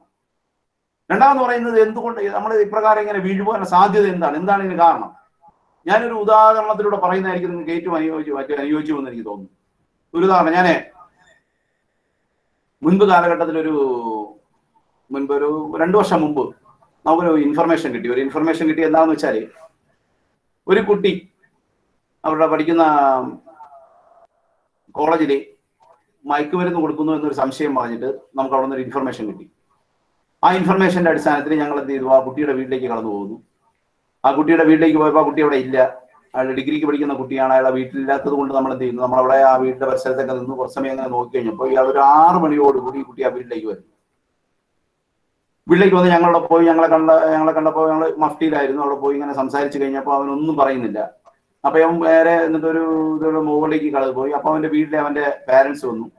പാരന്റ്സ് മീൻസ് അവന്റെ ഫാദർ വിദേശത്താണ് അവന്റെ മദർ മാത്രമേ ഉള്ളൂ അപ്പൊ പാരന്റ്സ് വന്ന് ഇങ്ങനെ സംസാരിച്ചു. ഞങ്ങളോട് സംസാരിച്ചപ്പോൾ ഞങ്ങൾ അവർ പറയുകയാണ് ഇവനി അടുത്ത കാലത്തായിട്ട് ചില പ്രശ്നങ്ങൾ വന്നിട്ടുണ്ട്. നിങ്ങൾ മൊത്തം ഒരു ലഹരി വസ്തു ഉപയോഗിക്കുന്ന വ്യക്തിയുടെ പ്രശ്നങ്ങൾ കോമൺ പ്രശ്നങ്ങൾ തന്നെയാണ്. ഞാൻ അത് പറയുന്നത് ശ്രദ്ധിക്കുക. അവർ പറഞ്ഞ പ്രശ്നങ്ങൾ ഇതൊക്കെയാണ്. ഇതിനു മുമ്പ് വളരെ നല്ല രീതിയിൽ ഭക്ഷണം കഴിച്ച് വീട്ടിൽ വളരെ സ്നേഹത്തോടു കൂടിയായിരുന്നു അവന്റെ സഹോദരിയുമായിട്ട് വളരെ സ്നേഹബന്ധത്തിലായിരുന്നു. അപ്പൊ ഇപ്രകാരമായിരുന്നു അവൻ ഈ അടുത്ത നാളുകളായിട്ട് ഇവന് വ്യത്യാസങ്ങൾ വന്നു. ഇവന് സമയത്തിന് ഭക്ഷണം കഴിക്കാതായി. വൈകുന്നേരം വീട്ടിൽ താമസിച്ചു വരാൻ തുടങ്ങി. മൂന്നാമതവന്റെ വളരെ സ്നേഹത്തിൽ തന്നെ സഹോദരിയുമായിട്ട് യാതൊരു സ്നേഹവും ഇല്ലാതെ ഇടപെടാൻ തുടങ്ങി. അവർ പറഞ്ഞ കാര്യം എന്ന് പറയുന്നത് ഒരു ദിവസം വന്നിട്ട് അവരുടെ ബാഗിനെ കുത്തി കീറി കളഞ്ഞു. കുത്തി കീറി നശിപ്പിച്ചു കളഞ്ഞു. പിന്നെ ഹോളിൽ താഴെ അവരുടെ ഹോളിലായിട്ട് ഇരുന്ന മ്യൂസിക് സിസ്റ്റം തന്നെ വേറെ മുറി വയ്ക്കുന്നു. കൃത്യമായിട്ട് ഡ്രസ്സ് ധരിക്കാത്ത ഒരവസ്ഥ. കൃത്യമായിട്ട് ഉറങ്ങാത്ത അവസ്ഥ. കൃത്യമായിട്ട് ഭക്ഷണം കഴിക്കാ ഭക്ഷണം കഴിക്കാത്ത അവസ്ഥ പിന്നെ കൃത്യമായിട്ട് കളിക്കാനൊക്കെ പോയിക്കൊണ്ട് അതൊക്കെ നിർത്തി. അങ്ങനെ ഒരു അവസ്ഥയിൽ അവന് ആയിരിക്കുകയാണ് വല്ലാത്ത ഒരു അവസ്ഥയിലാണെന്ന് പറഞ്ഞു. അപ്പൊ ഞങ്ങൾക്ക് കാര്യങ്ങളൊക്കെ മനസ്സിലായി. വീണ്ടും അവനെ വിളിച്ചു വരുത്തി. മോളൊന്ന് വിളിച്ചു വരുത്തി. അവനോട് കാര്യങ്ങൾ ചോദിച്ചു. വിശദമായി ചോദ്യം ചെയ്ത് മനസ്സിലായ കാര്യം എന്ന് പറയുന്നത് ഇവൻ തന്നെയാണ് ഇവന്റെ കോളേജിലെ കുട്ടിക്ക് മയക്കുമരുന്ന് കൊടുത്തത്. അപ്പൊ മയക്കുമരുന്ന് കൊടുത്ത ആ കുട്ടിയുമായിട്ട് ബന്ധപ്പെട്ട് ഞങ്ങൾ അവരെ ചോദ്യം ചെയ്ത് വന്നപ്പോൾ ഞങ്ങൾക്ക് മനസ്സിലാക്കാൻ സാധിച്ച വേറൊരു വലിയ കാര്യം എന്ന് പറയുന്നത് ആ കോളേജിൽ പത്ത് പതിനാറ് പേർക്ക് മയക്കുമരുന്ന് അവർ കൊടുക്കുന്നുണ്ട് അപ്പൊ അതിന് കാരണം പറഞ്ഞു ഇവൻ മയക്കുമരുന്ന് ഇങ്ങനെ കൊടുക്കാനുണ്ടായ കാരണം അവൻ പറഞ്ഞതെന്ന് പറഞ്ഞാൽ ഇവൻ പ്ലസ് ടുവിന് പഠിക്കുന്ന സമയത്ത് ഇവന് കുറച്ച് മയക്കുമരുന്ന് ഇങ്ങനെ ഒരാൾ വഴി കിട്ടി അവൻ ഉപയോഗിച്ചു തുടങ്ങി. ഇവനടുത്ത് കോളേജിൽ ഡിഗ്രി ക്ലാസ്സിന് ചേരുന്നു. അപ്പൊ വലിയ പ്രശ്നമൊന്നും ഉണ്ടായില്ല. ചെറുതായിട്ടൊക്കെ ഉപയോഗിച്ചു അങ്ങനെ വന്നു. പ്ലസ് വൺ ഡിഗ്രിക്ക് വന്ന് ഫസ്റ്റ് ഇയർ ചേർന്നു. ഫസ്റ്റ് ഇയർ ചേർന്ന് കഴിഞ്ഞപ്പോൾ ഇവനവിടെ അല്ലെന്നൊക്കെ കിട്ടി ഇവനെങ്കിലും ഉപയോഗിച്ചുകൊണ്ടിരുന്നു. സെക്കൻഡ് ഇയർ ആയപ്പോ അതുവരെയും മയക്കുമരുന്ന് കൊടുത്തുകൊണ്ടിരുന്ന ആൾക്കാർ പുറത്തേക്ക് പോയി. കഞ്ചാവ് ഒക്കെ അവിടെ കൊടുത്തുകൊണ്ടിരുന്നവർ പുറത്തേക്ക് പോയി. അവർ ഫൈനൽ ഇയർ കഴിഞ്ഞവർ പോയി. സെക്കൻഡ് ഇയർ ആയപ്പോൾ ഇവന്റെ അടുക്കലേക്ക് ആര് വന്നു? നമ്മുടെ മയക്കുമരുന്ന് വിൽക്കുന്ന ആൾക്കാർ കടന്നു വന്നു. വിൽക്കുന്ന ആൾക്കാർ കടന്നു വന്ന ശേഷം ഇവനോട് പറഞ്ഞത് നീ കുറേശ്ശെ അവർക്ക് വിൽക്കുക.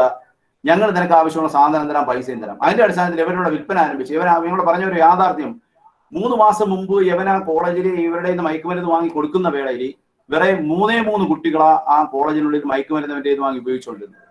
പക്ഷെ ഇപ്പോൾ ഞങ്ങൾ മൂന്ന് മാസം കഴിഞ്ഞ് അവരെ പിടിക്കുന്ന സമയത്ത് പതിനാറ് കുട്ടികൾ ആ കോളേജിൽ നിന്ന് മയക്കുമരുന്ന് ഇവന്റെ കയ്യിൽ നിന്ന് വാങ്ങി ഉപയോഗിക്കുന്നു അപ്പൊ ഈ അവസ്ഥയിലേക്ക് വരാനുള്ള കാരണം എന്ന് പറയുന്നത് എപ്പോഴും ഇതിന്റെ ഉപയോഗം ആരംഭിക്കുന്നത് കൗമാരപ്രായക്കാരിൽ അല്ലെങ്കിൽ യൗവന കാലഘട്ടത്തിലുള്ള കുട്ടികളുടെ മേൽ ആരംഭിക്കുന്ന എപ്പോഴെന്ന് പറഞ്ഞാൽ അവരുടെ കൂടെ പഠിക്കുന്നവർ അവരുടെ സമപ്രായക്കാർ കൂടെ കളിക്കുന്നവർ കൂടെ ആയിരിക്കുന്ന ഇപ്രകാരമുള്ള ഒരു കൂട്ടുകെട്ടിലൂടെയാണ് ഇത് ആരംഭിക്കുന്നത്.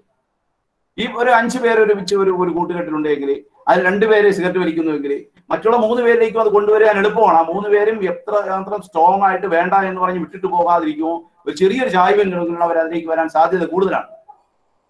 അപ്പൊ ഇപ്രകാരമാണ് ഇത് വ്യാപിച്ചുകൊണ്ടിരിക്കുന്നത്. ഞാൻ പറഞ്ഞില്ല മൂന്ന് മാസം മുമ്പ് മൂന്ന് പേരുണ്ടായിരുന്നത് ഒരു മൂന്ന് മാസം കഴിഞ്ഞപ്പോൾ പതിനാറ് പേരിലേക്ക് എത്തി. അപ്പൊ ഇപ്രകാരമാണ് വർദ്ധിച്ചുകൊണ്ടിരിക്കുന്നത്. അപ്പൊ ഒരാൾ ഒരു കോളേജിനുള്ളിലുണ്ടെങ്കിൽ ഒരാൾ ഒരു ക്യാമ്പസിനുള്ളിലുണ്ടെങ്കിൽ ആ ക്യാമ്പസിനുള്ളിൽ അത് പത്ത് ശതമാനത്തിലേക്ക് പതിനഞ്ച് ശതമാനത്തിലേക്ക് വളർന്നു വരാൻ വളരെ ചെറിയൊരു കാലഘട്ടം മതി. ഇതിനു മുമ്പ് ഞാനിങ്ങനെ ഒരു കേസ് ഇതുപോലെ സമയം ഒരു ഒരു കേസിൽ ഇതുപോലെ പിടിച്ച് ഒരു പിടിച്ചുകൊണ്ട് വന്നപ്പോ ഞങ്ങളിങ്ങനെ ഒരു കഞ്ചാവ് വാങ്ങാനായി വിളിച്ച കുറെ ആൾക്കാരെ പിടിച്ചുകൊണ്ട് വന്ന സമയത്ത് ഒരു എഞ്ചിനീയറിംഗ് കോളേജിൽ ഒരു സ്റ്റുഡന്റ് ഉണ്ടായിരുന്നു. ഈ സ്റ്റുഡന്റിനോട് ഞങ്ങൾ അവനെ വിളി അവനെ കൊണ്ടുപോകാൻ അവനെ കൂട്ടിക്കൊണ്ടുപോകാൻ അവന്റെ പേരൻസ് ആരും ഇല്ല. എല്ലാവരും വിദേശത്താണ്ട് രണ്ടുപേരും നിൽക്കുക അപ്പൊ ചോദിച്ചപ്പോൾ ഒരു പ്രമുഖമായ ഒരു കോളേജ് അറിയാവുന്ന ഒരു എഞ്ചിനീയറിംഗ് കോളേജിലെ സ്റ്റുഡന്റാണ് അപ്പൊ അവൻ വീട്ടിലേക്കിനോട് പഠിക്കുകയാണ്. അപ്പൊ ഇവനോട് ഞാൻ പറഞ്ഞു നിങ്ങളെ കോളേജിൽ ഇങ്ങനെയാണെങ്കിൽ കൊള്ളാമരുടെ നിങ്ങളെ നിങ്ങളെ ഹോസ്റ്റലിലേക്ക് ചെയ്യാൻ വന്ന അവൻ ഹോസ്റ്റലിൽ നിൽക്കുന്ന പയ്യനാണ്.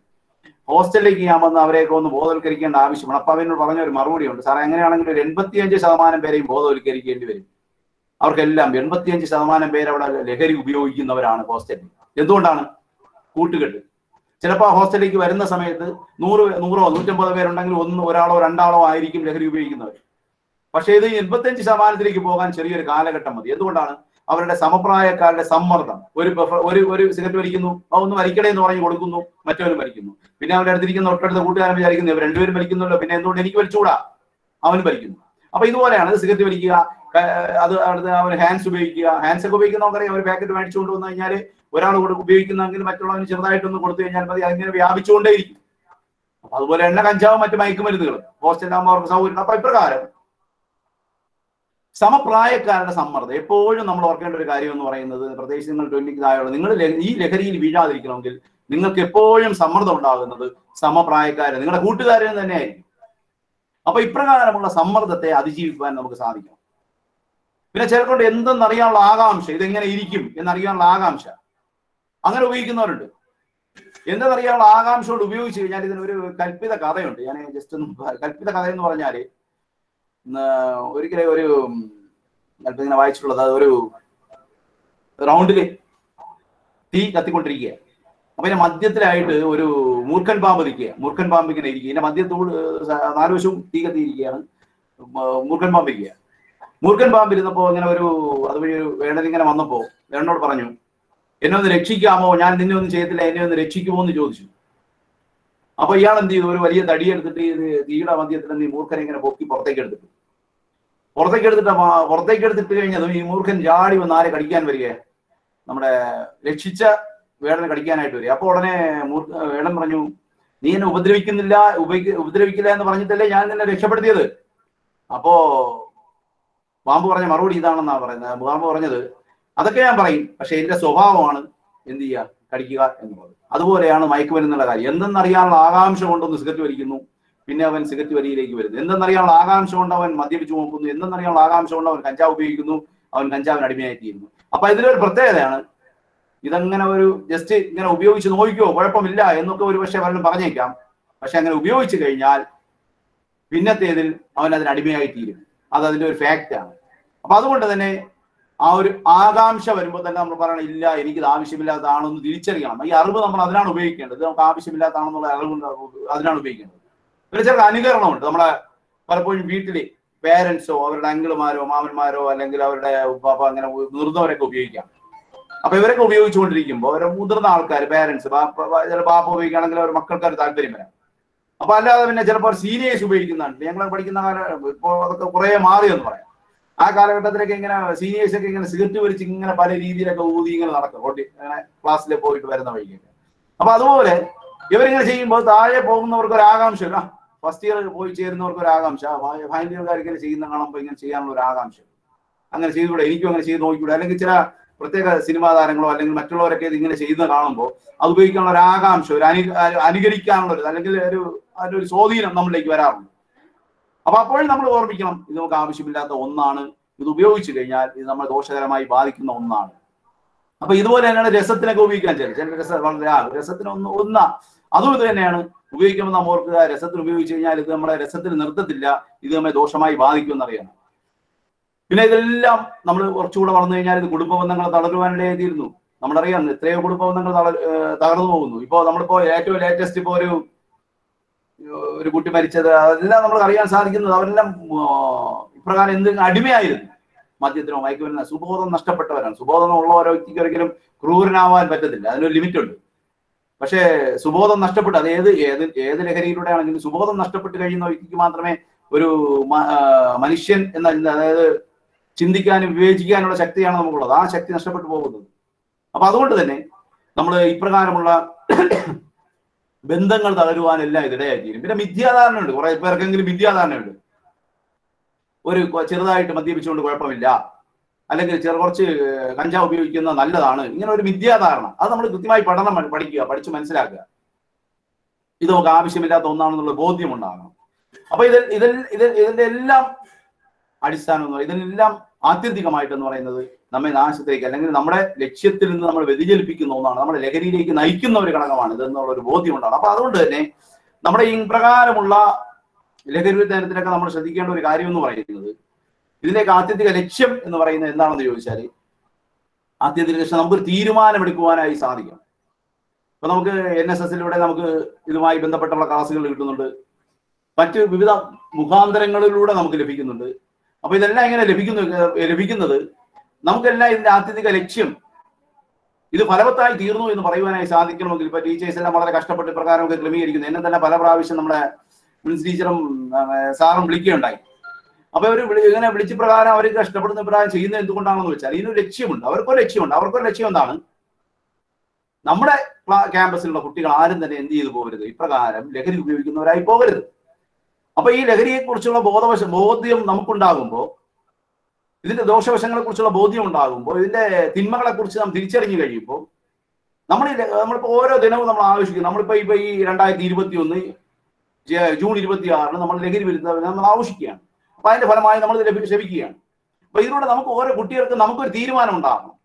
എന്റെ ലക്ഷ്യം എന്ന് പറയുന്നത് എന്താണ് എന്ന് നമുക്ക് ഓരോരുത്തർക്കും അറിയാം. പക്ഷെ നമ്മൾ എന്ത് ചെയ്യുന്നു? നമ്മൾ അറിഞ്ഞോ അറിയാതെയോ ലഹരി ഉപയോഗിച്ച് കഴിയുമ്പോൾ നമ്മളെ ആ ലക്ഷ്യം വിട്ടുപോകുന്നു. അപ്പൊ അതുകൊണ്ട് തന്നെ നമ്മളോട് തീരുമാനം എടുക്കേണ്ടത് ആവശ്യമാണ്. കാരണം ലഹരി ഉപയോഗിക്കുന്ന ഒരു വ്യക്തി ഞാൻ നേരത്തെ പറഞ്ഞു അവന്റെ ശരീരത്തിന് ആവശ്യമില്ലാത്തതാണ് അവന്റെ മനസ്സിന് ആവശ്യമില്ലാത്തതാണ്. പിന്നെ ഏറ്റവും കൂടുതലായിട്ട് ഞാൻ പറഞ്ഞുതരാം നമ്മുടെ ബന്ധങ്ങൾക്ക് കുടുംബ ബന്ധങ്ങൾക്ക് ഇത് ആവശ്യമില്ല. അതെല്ലാം നശിപ്പിച്ചു കളയുന്നത്. പല ബന്ധങ്ങൾ നശിച്ചു പോകുന്ന എന്തുകൊണ്ടാണ്? വ്യക്തി ബന്ധങ്ങൾ നശിച്ചു പോകുന്നു. ലഹരി ഉപയോഗിക്കുന്ന ഒരു വ്യക്തി പല വ്യക്തികളെ നമുക്കറിയാം. ലഹരി ഉപയോഗിക്കുന്ന ഒരു വ്യക്തി അവന്റെ വീട്ടിൽ വന്നിട്ട് അവന്റെ പേരൻസിനെ തിരിച്ചറിയാൻ പറ്റുന്നില്ല. ബാപ്പയോ ഉമ്മയോ അല്ലെങ്കിൽ അച്ഛനെ ആരെയും തിരിച്ചറിയാൻ പറ്റാത്ത അവസ്ഥയിൽ അവൻ പലതും പ്രവർത്തിക്കുന്നു. അവന്റെ ബ്രദേഴ്സ് സിസ്റ്റേഴ്സ് അവർക്ക് പരസ്പരം തിരിച്ചറിയാൻ സാധിക്കുന്നില്ല. ആരാണെന്ന് തിരിച്ചറിയാൻ പറ്റുന്നില്ല. അവിടെ പലതും സംഭവിക്കുന്നുണ്ട്. എന്തുകൊണ്ടാണ് നിങ്ങൾ സംഭവിക്കുന്നത്? അവിടെ ബന്ധങ്ങൾ ഇല്ലാതായി പോകുന്നു.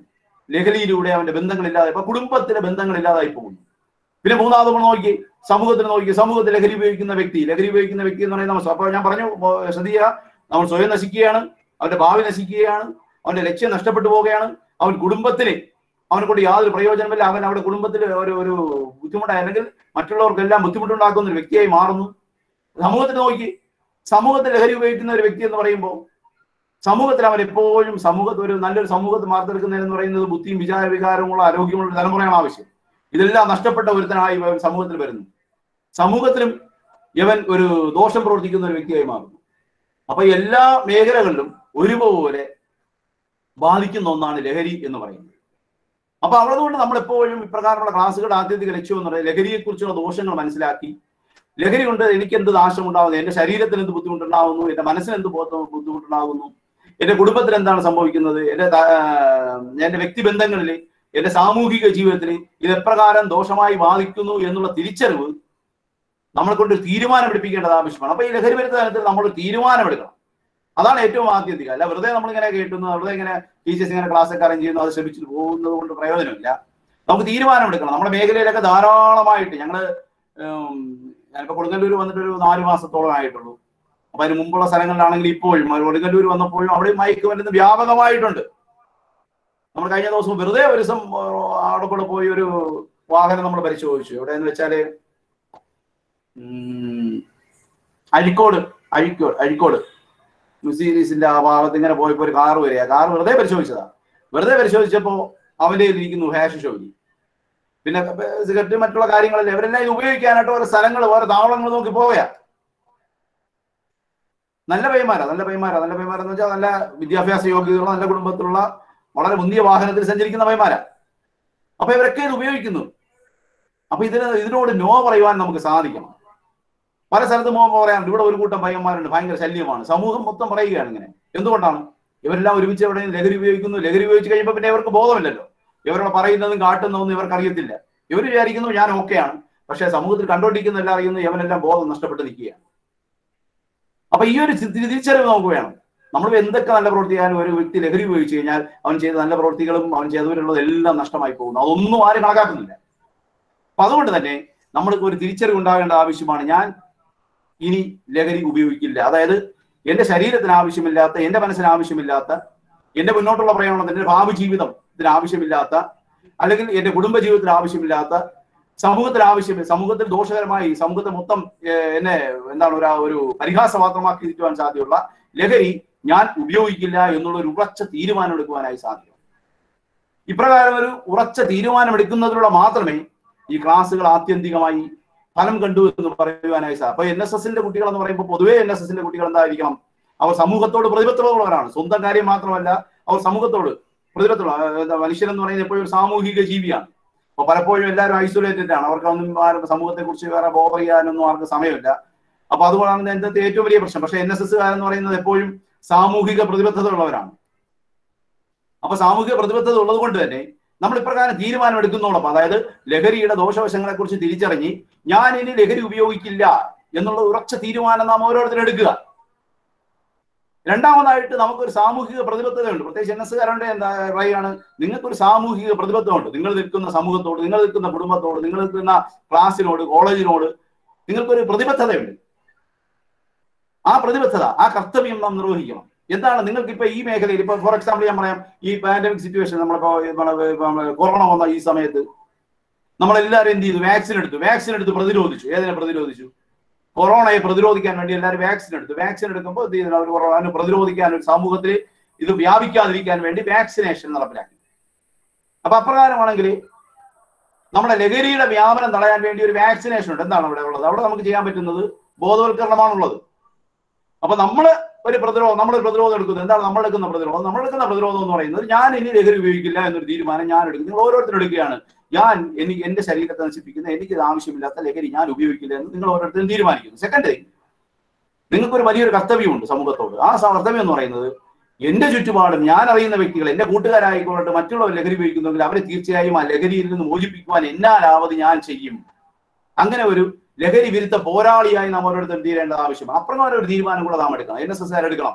എന്റെ ക്ലാസ്സിൽ ഒരു കുട്ടിയെ പോലും ലഹരി ഒരു കുട്ടി പോലും ലഹരി ഉപയോഗിക്കാത്ത രീതിയിൽ ഞാൻ പ്രവർത്തിക്കും.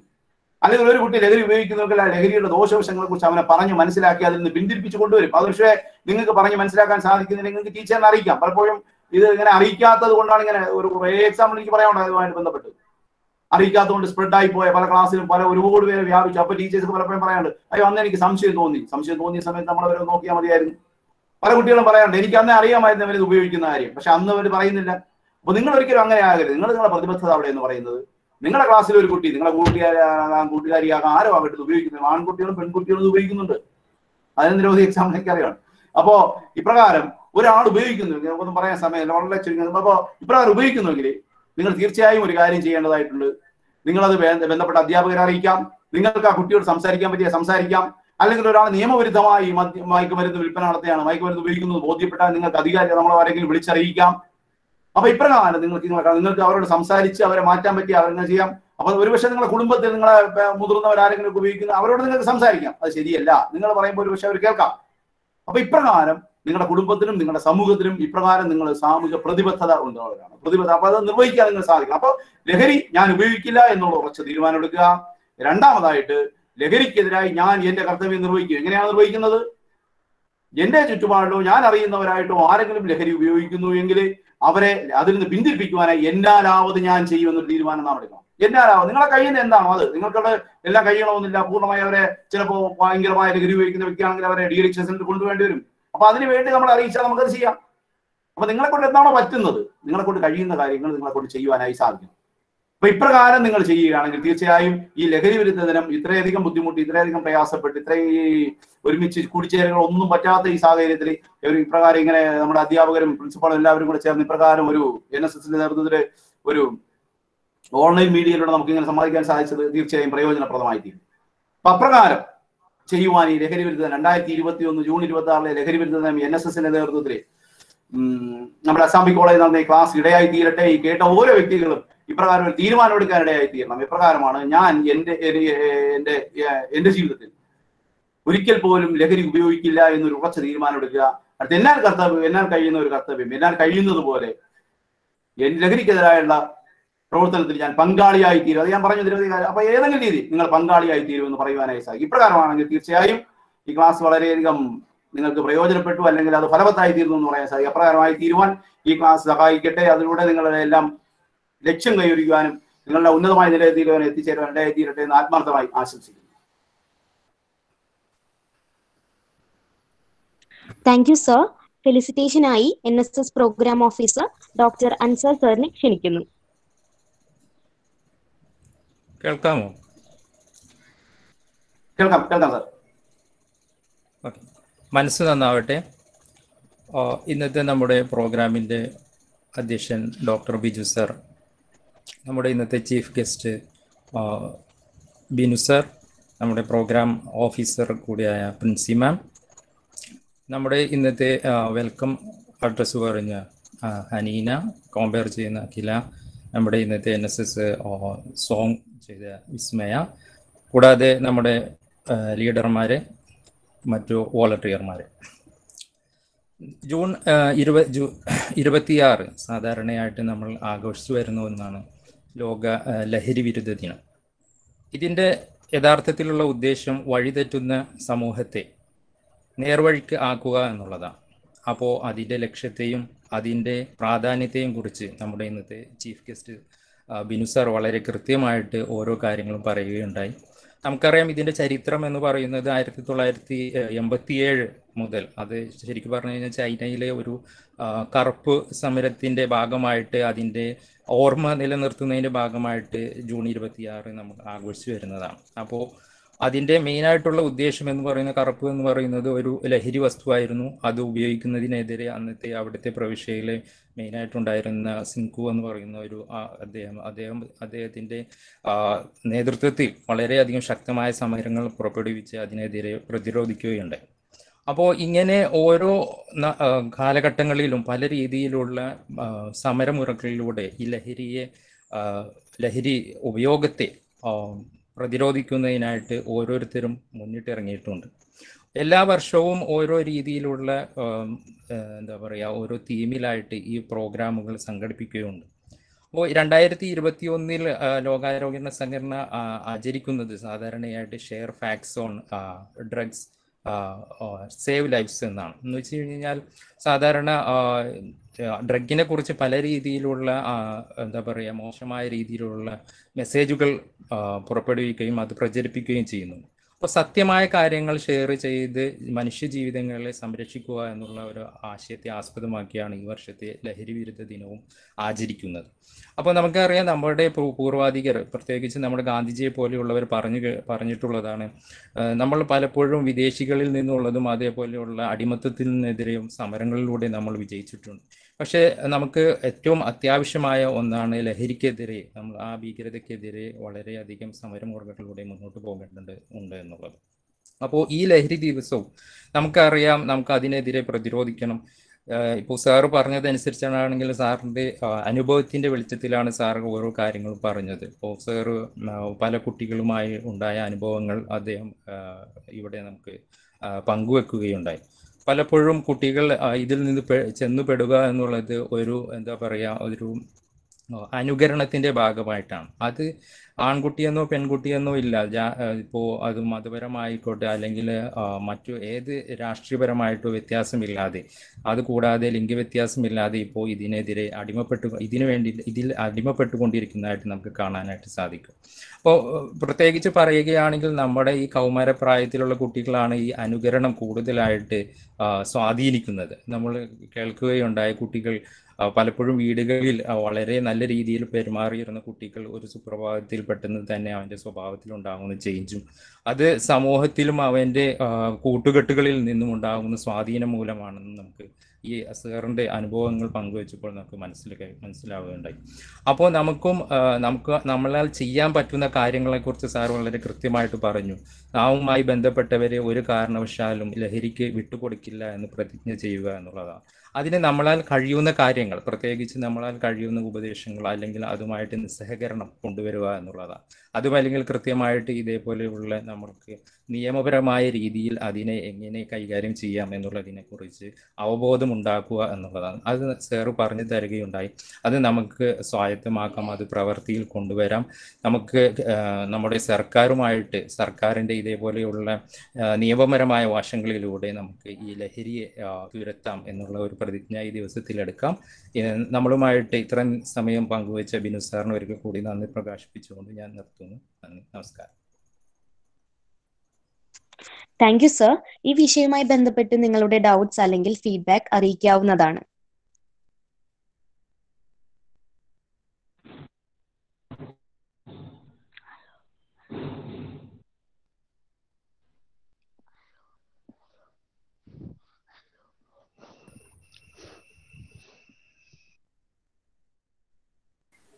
സാർ ബിനു സാറിനോടാണ് എനിക്കൊരു ഡൗട്ട് ഉണ്ട്. അതായത് നമുക്കിപ്പോ ലഹരി അധികമായിട്ട് ഉപയോഗിക്കുന്നവർ അല്ലെങ്കിൽ ഇത് വിതരണം ചെയ്യുന്നവർ ഒക്കെ നമ്മൾ കാണാനിടയായാൽ നമ്മൾ പ്രോപ്പറായിട്ട് ആരാണ് കോണ്ടാക്ട് ചെയ്യേണ്ടത്?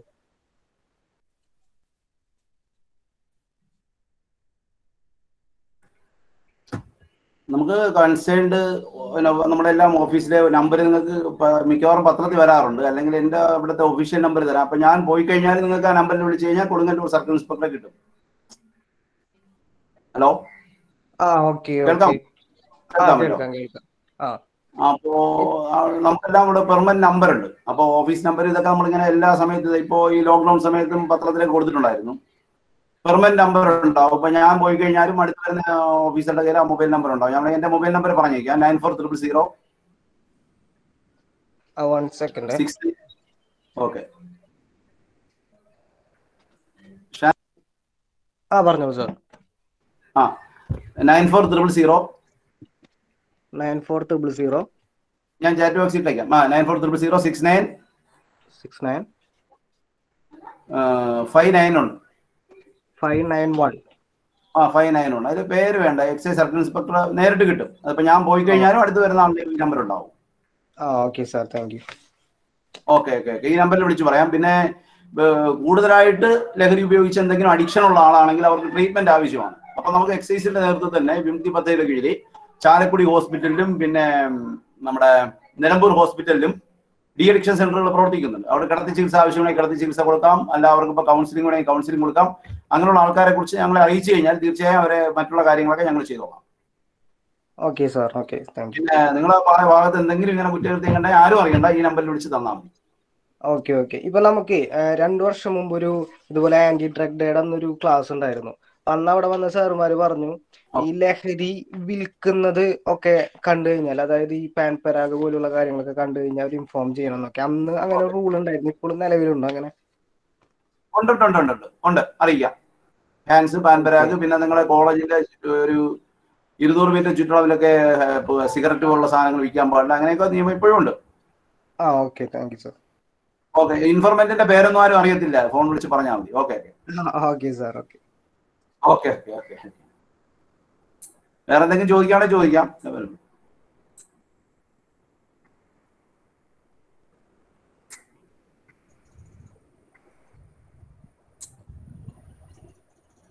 സാറേ അതേപോലെ തന്നെ നമ്മുടെ ഇപ്പോ പലപ്പോഴും കാണുന്ന ഒരു കാര്യമാണ് ഈ മൂവീസിലൊക്കെ ഒരുപാട് ഇതിനെ പ്രൊമോട്ട് ചെയ്യുന്നതായിട്ട്. പലപ്പോഴും ഓരോ മൂവീസിലും കേന്ദ്ര കഥാപാത്രങ്ങൾ തന്നെ അവതരിപ്പിക്കുന്നവർ ഇത്തരത്തിലുള്ള ഡ്രഗ് അഡിക്റ്റഡ് ആയിട്ടുള്ള കാര്യങ്ങളിലൊക്കെ കാണിച്ചിട്ടാണ് ചെയ്യുന്നത്. അപ്പോൾ അതിനെതിരെ ശരിക്കും പറഞ്ഞു കഴിഞ്ഞാൽ ഒരു ശക്തമായ നിയമം അങ്ങനെയൊന്നും നമുക്ക് കൊണ്ടുവരാൻ പറ്റില്ലേ? അങ്ങനെ ഉണ്ടത് ഉള്ളതായിട്ട് അറിയോ? അല്ല അതിനെതിരെ മുൻകാലഘട്ടത്തെക്കാൾ ഇപ്പോൾ അത് റെസ്ട്രിക്റ്റ് ആണ്. മുൻകാലഘട്ടത്തിൽ യാതൊരു നിയന്ത്രണവും ഇല്ലാതെ മദ്യപാനവും പുകവലിയൊക്കെ സിനിമയിലും മറ്റു മേഖലകളിലൊക്കെ കാണിച്ചിരുന്നു. പക്ഷെ ഇപ്പൊ അത് ചെയ്യാൻ പറ്റത്തില്ല. ഇപ്പൊ അഥവാ അങ്ങനെ ചെയ്യുന്നുവെങ്കിൽ സ്റ്റാറ്റ്യൂട്ടറി വാണിംഗ് താഴെ എഴുതി കാണിക്കുന്നുണ്ട് കൃത്യമായിട്ട്. ഇപ്പൊ പുകവലിക്കുകയാണെങ്കിൽ പുകവലി ആരോഗ്യത്തിന് ഹാനികരമാണെന്ന് ഇംഗ്ലീഷിൽ മലയാളത്തിൽ എഴുതി കാണിക്കുന്നുണ്ട്. അതുപോലെ തന്നെ നമ്മുടെ മദ്യപിക്കുകയാണെങ്കിലും മദ്യപാനം ആരോഗ്യത്തിന് ഹാനികരം അവിടെ വ്യക്തമായിട്ട് എഴുതി കാണിക്കുന്നുണ്ട്. അപ്പൊ അപ്രകാരം വാണിംഗ് സ്റ്റാറ്റ്യൂട്ടറി വാണിംഗോട് കൂടെ ഇത് ചെയ്യാൻ പാടുള്ളൂ എന്നുണ്ട്. അപ്പൊ അതാണ് ഇപ്പൊ പുതിയതായിട്ട് വന്നുള്ളത് മുൻകാലഘട്ടത്തിൽ ഇതൊന്നും ഇല്ലായിരുന്നു. അത് മാത്രമല്ല ഇത് ഇപ്രകാരമുള്ള കാര്യങ്ങളൊന്നും പരസ്യം ചെയ്യാൻ പാടില്ല എന്നുണ്ട് ഇപ്പൊ പുതിയ നിയമമുണ്ട്. അതായത് ഉം, ഇപ്പൊ മുൻകാലഘട്ടത്തിലൊക്കെ എന്ന് പറഞ്ഞാൽ നമ്മുടെ മദ്യത്തിന്റെ ഒക്കെ പരസ്യം ഉണ്ടായിരുന്നു. ഇപ്പൊ അത്തരം പരസ്യങ്ങളൊന്നും പാടില്ല അങ്ങനെയൊക്കെ ഉണ്ട്. മറ്റുള്ളതൊക്കെ പിന്നെ ഇപ്പൊ എന്തായാലും നമുക്കെല്ലാം മനസ്സിലാക്കാൻ അറിയാം. ഇതിനെല്ലാം പിന്നെ പ്രധാനം എന്ന് പറയുന്നത് നമുക്ക് വേണ്ടാത്ത ഒരു കാര്യം നമ്മൾ വേണ്ട എന്ന് കുറച്ച് തീരുമാനം എടുക്കുക എന്നുള്ളതാണ് പ്രധാനം. നമ്മളതിന്റെ ദോഷം മനസ്സിലാക്കി. നമുക്കിപ്പോ സൊസൈറ്റിയിൽ ഒരുപാട് കാര്യങ്ങൾ ഉണ്ടാവും അതിപ്പം ഈ ലഹരി വസ്തുക്കൾ നമ്മൾ പലരും പറയാറുണ്ട്. നമ്മളിപ്പോ ചിലപ്പോൾ ചോദിക്കാൻ സാധ്യതയുണ്ട്. എന്തുകൊണ്ട് നമ്മൾ ഇവിടെ ഇങ്ങനെ മദ്യം വിൽക്കുന്നു? അപ്പൊ മദ്യം ഇപ്പൊ നമ്മൾ ഞാൻ പറഞ്ഞല്ലോ. പുകയില വസ്തുക്കൾ നമ്മളെ ഹാൻസോ ഹാൻസ് ഇവിടെ കേരളത്തിൽ വിൽക്കുന്നില്ല. ഹാൻസ് കേരളത്തിൽ നിയമ നിയമപരമായി വിൽപ്പന ഇല്ലാത്ത ഒരു സാധനമാണ് ഹാൻസ്. പക്ഷേ ഹാൻസ് എല്ലാവരും കിട്ടുന്നത് എന്തുകൊണ്ട്? തമിഴ്നാട്ടിൽ പോയിട്ട് വരുന്ന മറ്റുള്ള മാർക്കറ്റിൽ നിന്ന് നാല് രൂപയ്ക്കും രണ്ട് രൂപയ്ക്കും നാല് രൂപയ്ക്കും കിട്ടുന്ന സാധനം ഇവിടെ കൊണ്ടുവന്ന് ഇരുപത് മുപ്പത് രൂപയ്ക്ക് നമ്മുടെ കൊടുങ്ങല്ലൂർ ഭാഗത്ത് കിട്ടുന്നുണ്ട്. അവർ പച്ചക്കറിയിലും അല്ലാതെ വരുന്ന വണ്ടികൾ വാങ്ങിക്കൊണ്ട് വരുന്നുണ്ട്. അപ്പോ അതുപോലെ തന്നെയാണ് മറ്റുള്ള ഏത് കാര്യവും. നമ്മൾ ഇവിടെ നിരോധിച്ചു കഴിഞ്ഞാൽ ഇവിടെ ആവശ്യക്കാരുണ്ടെങ്കിൽ അവിടെ നിന്ന് കൊണ്ടു കൊടുക്കും അപ്പോൾ നിരോധിക്കുകയാണെങ്കിൽ ടോട്ടൽ നിരോധനം ആവശ്യമാണ്. നമ്മുടെ സംസ്ഥാനത്തിൽ മാത്രമായിട്ടൊരു നിരോധനം ഒരിക്കലും പ്രാക്ടിക്കൽ അല്ല. അപ്പൊ അങ്ങനെ വരുമ്പോൾ എന്ത് പറ്റും? അവിടെ വേറൊരു മാഫിയ വളരാനിടയായില്ലേ? അപ്പൊ ഇപ്പൊ ഹാൻസി തന്നെ വിറ്റ് ഒരു ഒരു മാഫിയ ഇവിടെ ഉണ്ട്. ഹാൻസ് ഒക്കെ പാക്കറ്റ് ഒരു പാക്കറ്റ് ഞാൻ പറഞ്ഞില്ലേ? ഒരു പാക്കറ്റ് നാല് രൂപയ്ക്ക് കിട്ടുന്ന നമുക്ക് ഇവിടെ രൂപ കൊടുക്കുന്നത് ലോക്ക്ഡൌൺ സമയത്ത് നാല്പത് രൂപ അമ്പത് രൂപ കാണിച്ചു നാല് രൂപയുടെ സാധനം ഇരുപത് രൂപയാണ് നോർമൽ മേടി അപ്പൊ ഇപ്രകാരം ഏത് സാധനം അങ്ങനെയാണ്. അപ്പൊ ഇവിടെ അതൊന്നും നിയമാനുസൃതം ഒന്നും കൊടുക്കുന്നില്ല. പക്ഷെ അതെല്ലാം ഇപ്രകാരം പണം ഉണ്ടാക്കാൻ താല്പര്യമുള്ളവർ പല രീതിയിലുള്ള മേഖലകൾ സ്വീകരിക്കും. ആ അതേപോലെ തന്നെ ഇപ്പോൾ ഏറ്റവും കൂടുതൽ കാണുന്ന ഒന്നാണ് ഈ മറ്റേ നോർത്ത് ഇന്ത്യൻസ് ഇവിടെ ജോലിക്ക് വരുന്നവര്. ഒരുപാട് ഇതിന്റെ ഉപയോഗവും അതിന്റെ പ്രചരണവുമായിട്ട് നടക്കുന്നത്. ഇപ്പോൾ ഞാൻ താമസിക്കുന്ന പെരുമ്പാവൂർ ഭാഗത്താണ്. അവിടെ ഒത്തിരി ക്രിമിനൽസും കാര്യങ്ങളും ഇങ്ങനെയുള്ള കാണുന്നുണ്ട്. അപ്പൊ അങ്ങനെയുള്ള കാര്യങ്ങളിൽ നമുക്ക് കുറച്ചും കൂടി നിയന്ത്രണമോ അല്ലെങ്കിൽ ശക്തമായ നിയമമോ അങ്ങനെ എന്തെങ്കിലും ഉള്ളതായിട്ടുണ്ടോ? അല്ല നിയമം എപ്പോഴും നിലവിലുണ്ട്. പക്ഷെ ഇവരെന്ന് പറഞ്ഞാൽ ഇവരുടെ ബാഗുകൾ പലപ്പോഴും ഇവരിങ്ങനെ കൊണ്ടുവരുമ്പോൾ എല്ലാവരും രണ്ടോ മൂന്നോ കിലോ കഞ്ചാവുമായിട്ടാണ് ഇവർ പലപ്പോഴും നോർത്ത് ഇന്ത്യയിൽ പോയിട്ട് വരുന്നത്.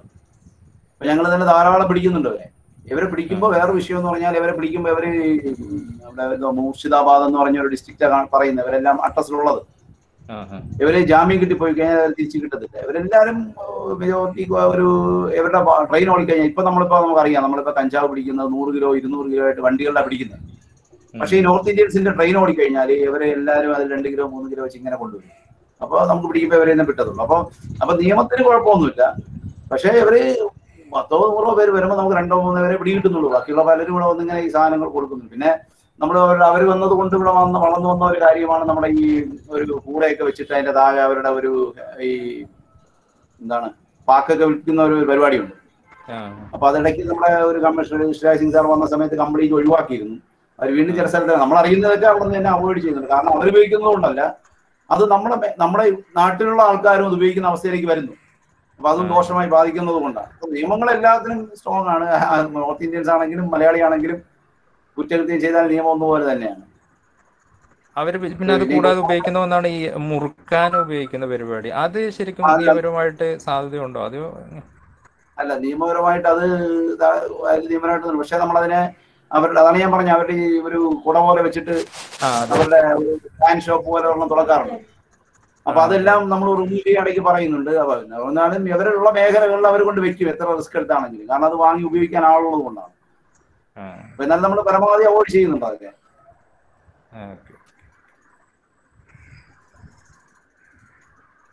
സാറ് ഈ ഓൺലൈനായിട്ട് നമുക്ക് ഇതിന് എങ്ങനെ ഇതിനെതിരെ ഒരു പ്രതിരോധം കൊണ്ടുവരാമെന്നുള്ളതിനെ കുറിച്ച് എന്തെങ്കിലും ഒരു പ്രത്യേക ആശയം വല്ലതും ഉണ്ടോ സാർ ഇപ്പോൾ ഇപ്പോൾ നമുക്കിപ്പോൾ അല്ലാത്ത രീതിയിലുള്ള ക്യാമ്പയിനുകൾ ഈ സമയങ്ങളിൽ പറ്റില്ലല്ലോ. അപ്പോൾ ഓൺലൈനായിട്ട് കുട്ടികൾക്ക് ചെയ്യാൻ പറ്റുന്ന? ആ ഓൺലൈനായിട്ട് ചെയ്യാം ചെയ്യാമല്ലോ. നമുക്കിപ്പോ ഈ ആന്റി ടെക്സ് ഡേയിൽ തന്നെ നമ്മളിപ്പോ ഇങ്ങനെ ഈ ഒരു മീഡിയയിലൂടെ ഇങ്ങനെ ഒരു സംവാദമാണെങ്കിൽ മറ്റ് പലരും ചെയ്തിരിക്കുന്നതെന്ന് പറഞ്ഞാൽ ഒരു ചെറിയ ഒരു പല പ്രോഗ്രാംസ് ഉൾപ്പെടുത്തിക്കൊണ്ട് ചെയ്യുന്ന പല സ്കൂളുകളും കോളേജുകളും ഉണ്ട് ഇപ്പോൾ ഈ ഈ- ഈ ദിവസം. വൺ അവർ ഇങ്ങനെ പല പ്രോഗ്രാംസ് വിവിധ പ്രോഗ്രാംസിലൂടെ. അതായത് ഇപ്പോൾ നമുക്കിപ്പോ ചെറുതാക്കല്ലാതെ മറ്റു കുറച്ചുകൂടെ പല വിവിധ രീതിയിലുണ്ടല്ലോ? ഏത് രീതിയിൽ നമ്മളെ ലക്ഷ്യം എന്ന് പറയുന്നത് നമ്മൾ സ്വയമായിട്ട് ഇതിനെതിരെ ഒരു തീരുമാനം എടുപ്പിക്കുക എന്നുള്ളതാണല്ലോ നമ്മുടെ ലക്ഷ്യം. അപ്പോ അങ്ങനെ പല രീതിയിൽ അവരിപ്പോ സ്ക്രിപ്റ്റുകളിലൂടെയും മറ്റു പല രീതിയിലൂടെ ഒക്കെ ചെയ്യുന്നുണ്ട്. പിന്നെ ഓൺലൈനായിട്ട് നമ്മൾ മാധ്യമത്തിലൂടെ നമ്മൾ ഇഷ്ടം പോലെ വരുന്നുണ്ടല്ലോ. ഫേസ്ബുക്കിലാണെങ്കിലും പിന്നെ നമ്മൾ നമ്മുടെ ഗ്രൂപ്പ് ഉണ്ടാവുമല്ലോ. കോളേജ് സ്കൂളിലൊക്കെ ഗ്രൂപ്പ് ഉണ്ടാവുമല്ലോ. നമ്മുടെ ക്യാമ്പസിൽ ഗ്രൂപ്പ് ഉണ്ട് ഇപ്പൊ എൻ എസ് എസിന്റെ ഗ്രൂപ്പ് ഉണ്ടാകാം. പിന്നെ മറ്റുള്ള ഗ്രൂപ്പുകൾ ഉണ്ടാകാം.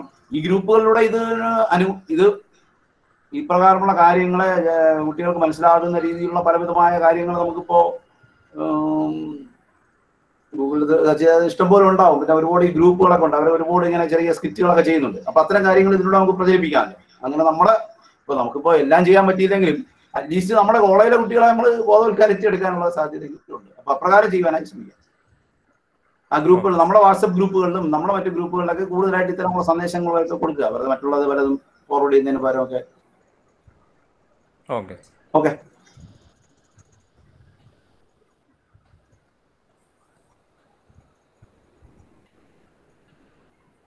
നമ്മുടെ സമയം ശ്രമിച്ചു എത്രയും പെട്ടെന്ന് നമുക്ക്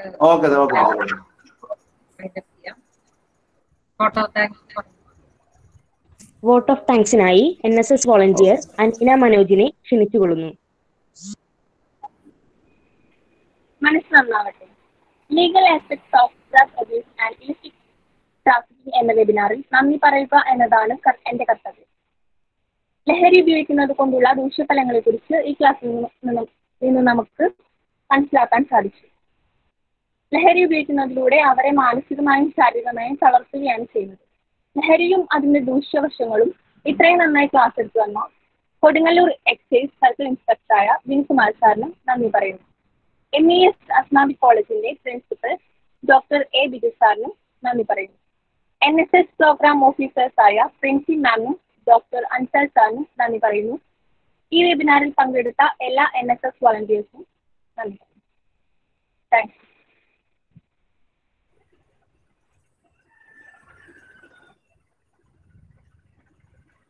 thank you sir thank you thank you Biju sir